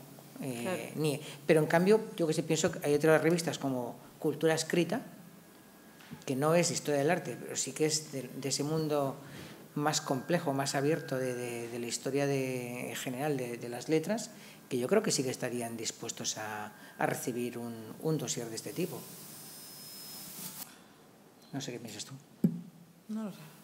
No, yo estaba pensando la idea esa de... Claro, el problema, podemos decir, sí, estupendo, seamos polifónicos y multidisciplinares, pero la cosa es que no estamos flotando en el éter, estamos en un sistema organizado en departamentos en el que hay que pedir dinero, en el que hay que pedir a dónde perteneces, en el que mm, yo a lo mejor soy demasiado outsider para un departamento de filología, pero tampoco entraría en uno de, mm, eh, evidentemente, de historia de la ciencia, ni mucho menos de historia del arte. Entonces, Claro, sí, se puede ser multidisciplinar y polifónico, pero bueno, pues es más complicado a la hora de la mm, de, la vida pues es más complicado porque está compartimentado.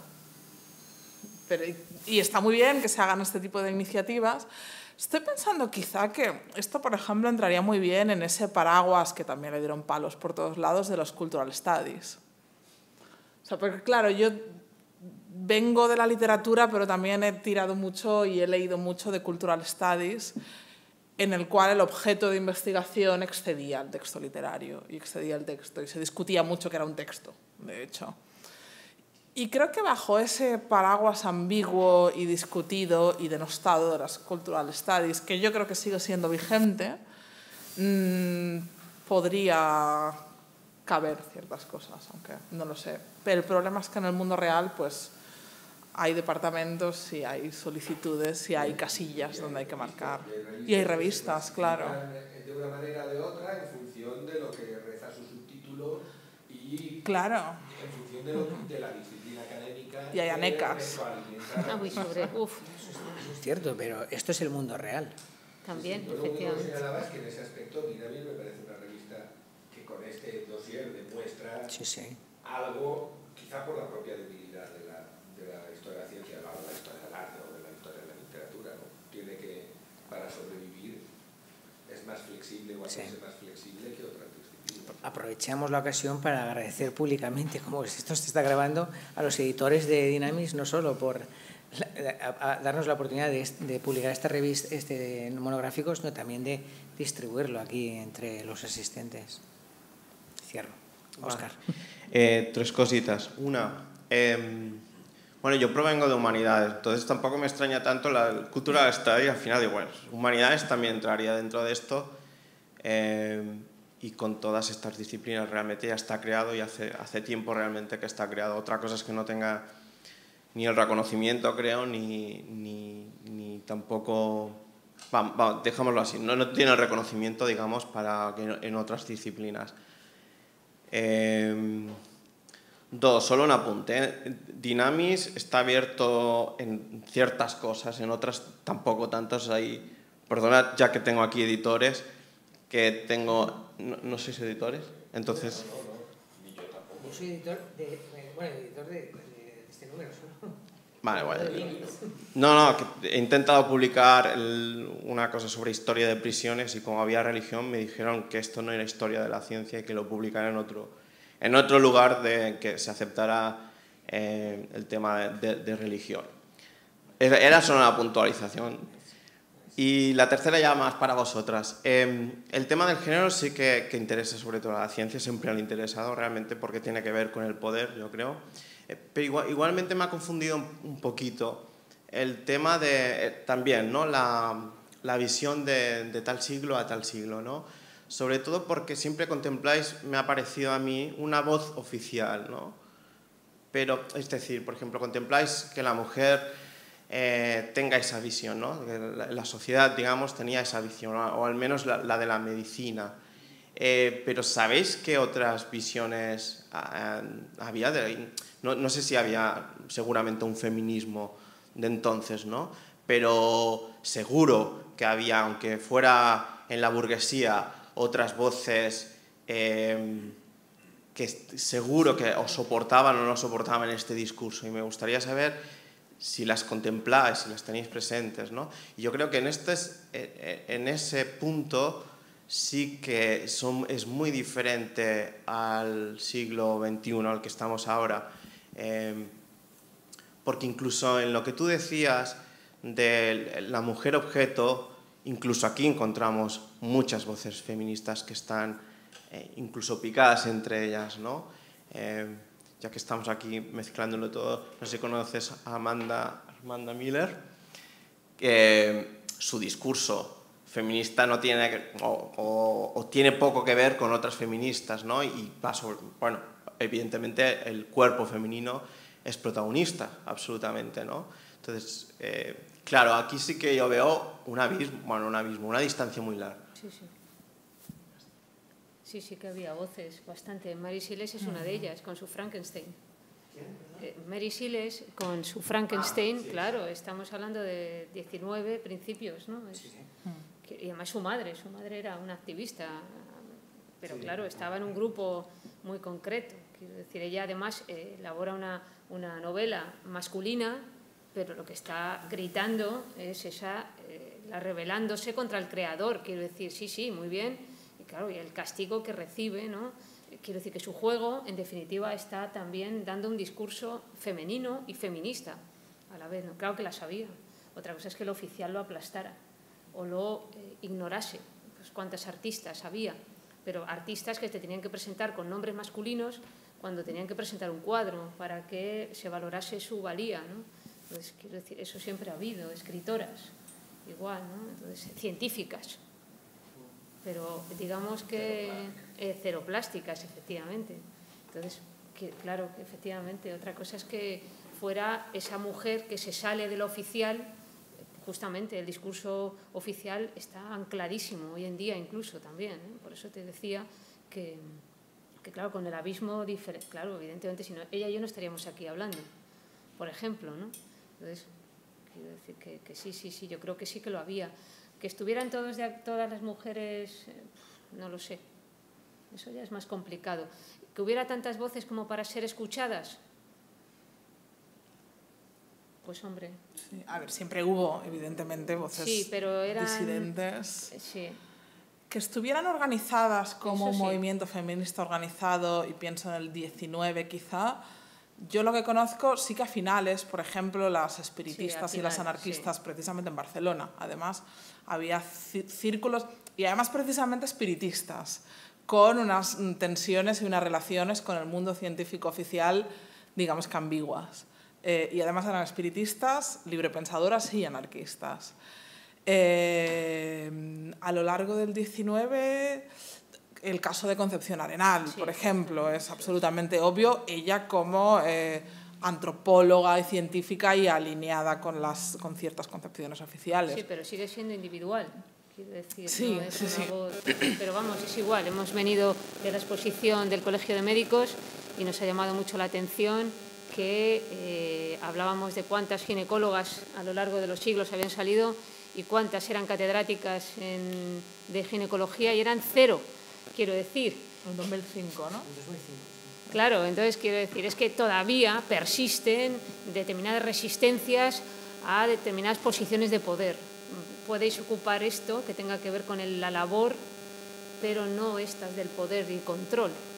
Quiero decir que yo creo que todavía, a pesar de todo, claro, el discurso ahora es mayoritario y todas las mujeres, yo además creo que por definición, todas las mujeres deberíamos ser feministas, por definición. Otra cosa es cómo lo defiendes o cómo lo expones, ¿no? Pero, pero claro, lo que está claro es que al final hay unas... eh, Yo siempre digo que muy bien, pero sin el, apoyo de determinados sectores masculinos, la mujer no habría podido alcanzar el voto, no habría podido, quiero decir que la historia es que va en nuestra contra, muchas cosas, ¿no? Y no me refiero al, a las- al maltrato, ni no, no, no, no, es algo más cotidiano de andar por casa. Para nosotras es un sacrificio hacer determinadas, ocupar determinados puestos que para el hombre es algo que le pertenece, porque ha, nacido, es hombre. Entonces yo, esto es como... Entonces, claro, esas cosas cuesta mucho que formen parte de la normalidad. Yo creo que siempre forman... Pero claro, en épocas pasadas, pues más todavía. Quiero decir, se silencian, sí, pero eso no significa... Sí, el, of- el oficial ha sido el discurso, el discurso que ha mantenido todo, el, de lo que hemos hablado. Quitando ahora el 20, que pues, ese era el discurso, ¿no? Y todavía eh, sí, intenta persistir, ¿eh? se resiste a morir.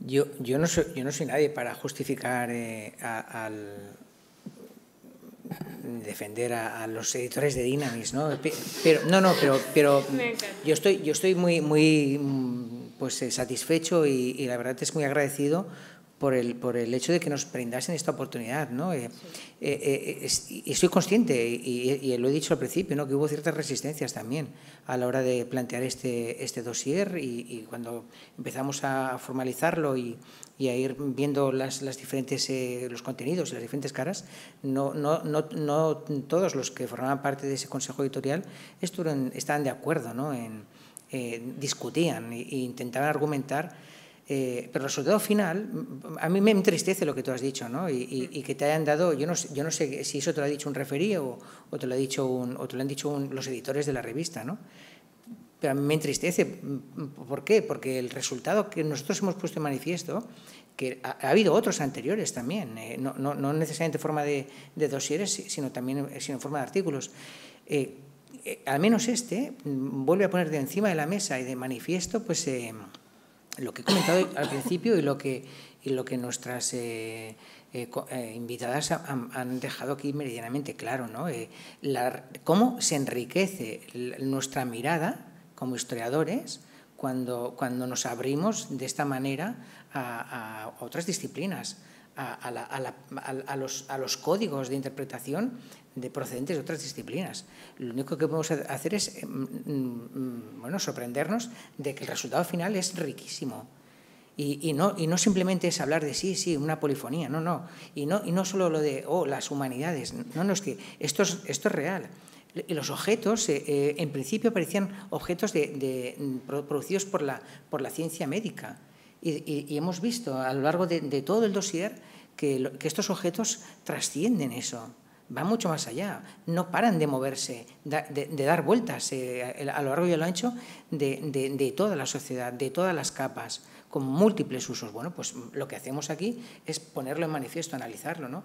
Y creo que un, artículo, conociendo tu, tu- tu investigación, bueno, no sé, es como como decir que, que- que- que no, podemos publicar cosas de, de espiritismo o de frenología porque no es historia, historia de la ciencia. Eh, eh, tú decías, sí, es que vivimos en un mundo real. Sí, pero es que el mundo real es este. Es el de la complejidad absoluta, el de los, el de- el de los grises, el de, el de, la ausencia del blanco y del negro. Si, si, si pretendemos persistir en, en, en, esa utopía o en clasificatoria del 19, pues eh, muy bien, felicidades, pero la realidad es otra, mucho más rica y más compleja, ¿no? como aquí hemos intentado poner de manifiesto. Yo mm, diría incluso más a lo que decías antes tú, Pepe. Eh, ¿Tendría cabida una revista de historia del arte? No, te diría, habría tenido cabida mi artículo, por ejemplo, que además habla de un médico concreto, en esta revista si no hubiera sido parte de un dossier? Seguro que no. Incluso eso. Bueno, y, y te digo el de Lisa Templecox bueno, y el ese, de Harcourt. Vamos, ese cuando... Ese vamos, nos costó seguro lo que nuestro no. eh, convencer. Seguro que ese fue el que más te dio... Porque al fin y al cabo el de ella o el mío hablan de médicos. Entonces es como, bueno, está ahí... Bueno, pero porque tal como funcionan estas cosas, en el marco de un dossier, los referís, eh, hay una intervención distinta que en el marco de un artículo aislado que, que puede acabar en manos de... Precisamente por eso insistía yo en que esto es una revista de historia de la medicina y la ciencia. Ujú. Y cuando recibe un artículo, hay un 90% de probabilidades de que esto acabe en manos de alguien que tiene una visión de la historia de la medicina eso es. Eso es, Eso es. eso es.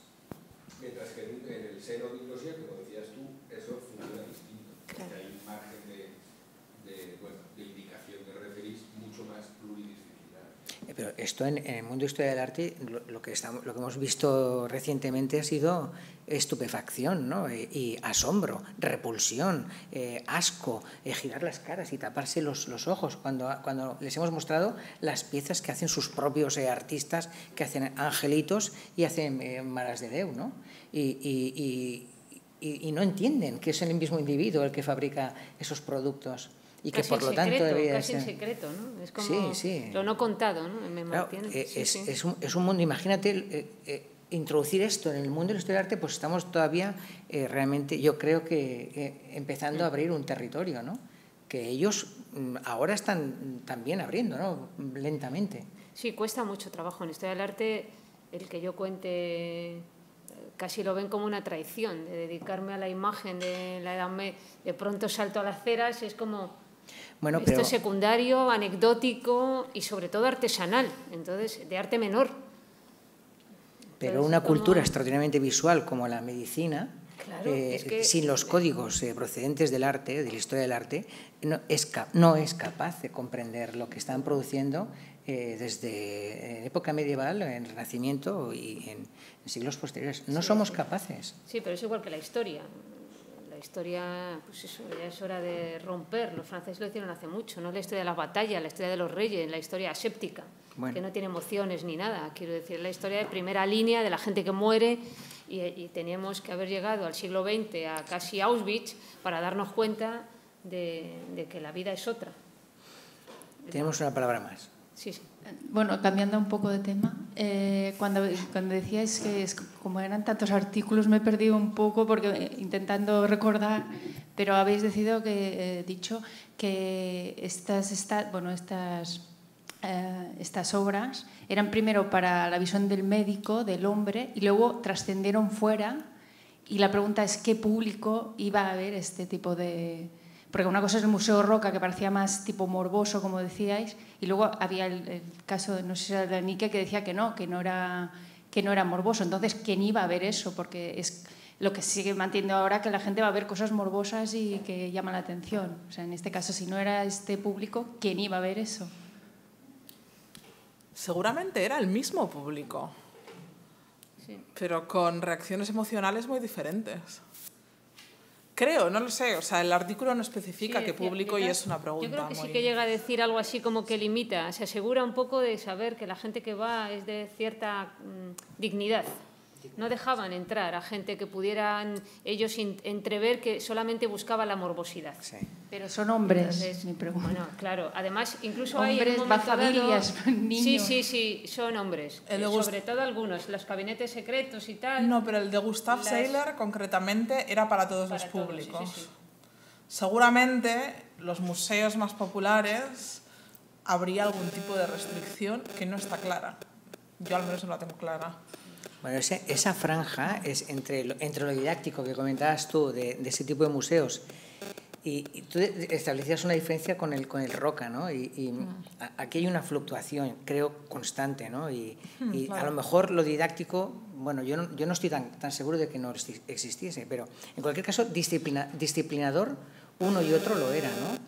Mm. Recuerdo, el, en, tú tienes un trabajo en el que citas eh, Ortega Gasset sobre, sobre esta necesidad de, refrenar las, la... la fascinación anatómica a la perversión en la mirada, ese cambio que se modifica en las finales del 19. Y entonces hablo de la obra de Pío Baroja, justamente de cómo se manipula esa mirada eh, hacia, hacia esa perversión que además pertenece a las clases bajas, pero clases bajas con las pasiones bajas de la burguesía que se según el que, según el que lo dice, claro. Claro, claro, claro. Siempre es desde el punto de vista ese oficial, que es el que marca el discurso de lo que debe ser, de lo que señala entre lo que es morboso, lo que no, lo que debes mirar de una forma determinada o no. Es, es él te posiciona cómo debes mirar. El que lo hagas, eso significa que te acercas más a las pasiones bajas. Entonces, incluso Ortega habla de que las ceras, los museos de ceras anatómicas, sobre todo, son para la gente. ¿Cómo puede fascinar eso a la gente? Claro, gente de cultura baja. Entonces, es una forma de educar también. Te están diciendo lo que tienes que mirar y lo que no, pero hoy en día también se hace, ¿no? Pero lo que es interesante, no visita unos barrios. Yo, yo, creo que lo que es interesante en ese, en ese discurso que tú planteas es que eh, no, solamente es necesario eh, educar con el objetivo de disciplinar el, posible asomo de una pasión primaria ante una mirada que no controlo cuando exhibo esto, sino, sino eh, que en su discurso, en el discurso que hace en Baroja, que, que, lleva hasta Ortega Set y que lleva otros que, que, estamos estudiando últimamente, pues es el de la, la infantilización del, del, observador, ¿no? es decir, considerar a todo aquel que mira sin una supuesta voluntad de una mirada disciplinada, de una mirada médica, de una mirada educada, de una mirada de este tipo, como un, como un individuo que no se sabe controlar, es, es como un niño. ¿no? Y esa, esa, infantilización te lleva eh, eh, hasta el día de hoy y nos, y nos eh, engancharía, nos empalmaría con la, con la sesión que nos hizo Jaume Sastre a principios de este año, con esa infantilización de, del museo y de lo que se exhibe en los centros de ciencia desde los años 30 hasta, hasta, hasta, los, museos, hasta los centros de ciencia de hoy. No, decía que eso es muy evidente en el, la tolerancia a la presencia femenina en esos, que es, según muy está ausente completamente en Inglaterra, en donde había una prohibición eh, explícita a la presencia de mujeres en este tipo de museos, mientras que en otras partes, desde luego del centro de Europa y del sur de Europa, eh, no solo eso, sino que sabemos que era estimulada la presencia de mujeres, pero siempre tuteladas en un determinado momento o en un determinado pase o en un determinado... Por ejemplo, hay una noticia fantástica de la visita de un colegio de niñas, de un instituto femenino a el Museo de Anatomía de la Facultad de Medicina. Lo que dice el anuncio es que el señor catedrático está allí desde la puerta explicándoles a las niñas lo que van a ver, es decir, tutelando la, como si fueran un público infantil y medio, medio memo, para prepararlas para eso. O en el caso incluso del Museo de Roca, donde en algunos de los anuncios lo que pone es explícitamente, traiga usted a su esposa para que vea los riesgos de esto. Pero claro, traiga usted a su esposa, es decir, venga su esposa acompañada de usted y usted decide lo que le enseña y lo que no a la esposa. ¿no? Yo dudo de todas formas que determinados matrimonios burgueses eh, asistieran ahí, ¿no? Pero bueno, y luego una cosa, lo de Ortega también es una muestra más de eh, la profunda mirada histórica que Ortega proyecta sobre muchas cosas. Porque 50 años antes de esta cosa que Ortega dice, bueno, esto es la chusma, ¿cómo puede, sí, porque esto es muy Ortega, 50 años antes, de los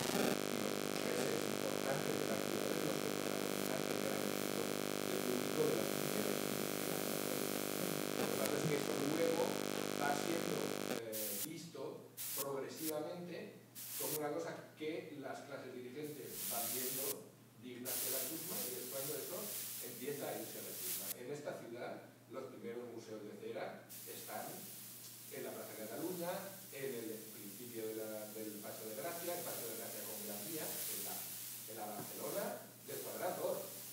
Acaban en el Raval 30, 40 años después, que son los que ve Ortega. Eso. Eh, lo que pasa es que como Ortega ahora le, cuesta pensar históricamente. Y que pues, sí, sí, sí, primero Baroja. Y él lo vio, además, él eh, cuando estudió medicina en Madrid tuvo que ver el museo, tuvo que ver el Museo de Ceras. Y además cuando escribe esto los pone muy bien, es verdad que lo pone en boca de, pero claro, de un grupo burgués, que en definitiva es, eso, es una forma de clasificación social y eso, de la infantilización de la clase trabajadora que no está educada ni la mirada ni, ni Yo te claro, mantiene preguntar en ese sentido cuando hablas de Ignacio Lacaba que las disecciones estaban abiertas a cualquier persona decente si había una definición de lo que era persona decente. Sobre todo, eh, no, no, tal, como tal no, porque incluso estaba antes pensando, claro, no, estaba pensando también incluso la mayoría de los eh, modelos anatómicos eh, sobre el parto, que también habría mucho que hablar cómo se maneja ese cuerpo femenino para ser expuesto y cómo se maneja, por el contrario, el, cuerpo masculino, masculino blanco, quiero decir, de unas determinadas características. En este caso, el Colegio de Cirugía, también como medida de control, eh, se encarga de educar a las parteras y les muestra esto. ¿no? Entonces, además, en las, disposiciones del Real Decreto establece que acudirán las mujeres decentes con permiso de sus maridos. ¿Qué es una mujer decente? Pues, quiero decir, efectivamente, la que tiene marido es la decente, que es la que necesita el permiso del marido para asistir a las clases que se dan en el Colegio de Cirugía. Es otra forma de control y otra forma de dirigir sus miradas, quiero decir también. ¿no? Entonces, imagino que incluso el recato, que además también es una palabra que se utiliza mucho en la época, mujeres recatadas, mujeres de un comportamiento moral, pues eso, de no excitar al otro al, deseo. ¿no? Entonces, claro, ese tipo de, cosas, eh, y además está establecido en las normas del, Colegio de Cirugía, eh, expresamente. ¿no? Entonces, igual que la acaba cuando amplía el horario y las mujeres van, porque además hay grabados en los que aparecen no del, no sé si del 18, pero sí del 16, o sea, del 17, no, de principios del 18. Con Martín Martínez hay un grabado en el que él aparece haciendo una disección que se supone que es Felipe V el que está. hay mujeres detrás, quiero decir, y son mujeres aristócratas por la forma de vestir. ¿no? Claro, evidentemente en ellas no se cuestiona la moralidad, porque ya pertenecen a una clase que va en sí misma, es como el valor de los soldados. Tú la llevas, ¿no? Es como la mujer del César, tú ya llevas eh, en ti impreso el, hecho de, ser decente. Bueno, eh, son ya las nueve. Muchísimas gracias, Maribel y Alba. Y muchísimas gracias a vosotras por haber, por haber venido. os convoco a, la siguiente sesión de Objectas Perduts, que será en febrero. Y eh, no recuerdo, ya os lo anunciaremos. Está por ahí en Arban una, una sesión muy guapa eh, que nos hará un profesor de la Complutense que se llama Luis Ángel Sánchez sobre, sobre el mundo de las exhibiciones etnológicas, etnográficas, coloniales, eh, misioneras en, en, la España de finales del 19. Zoos humanos, efectivamente. Muchísimas gracias.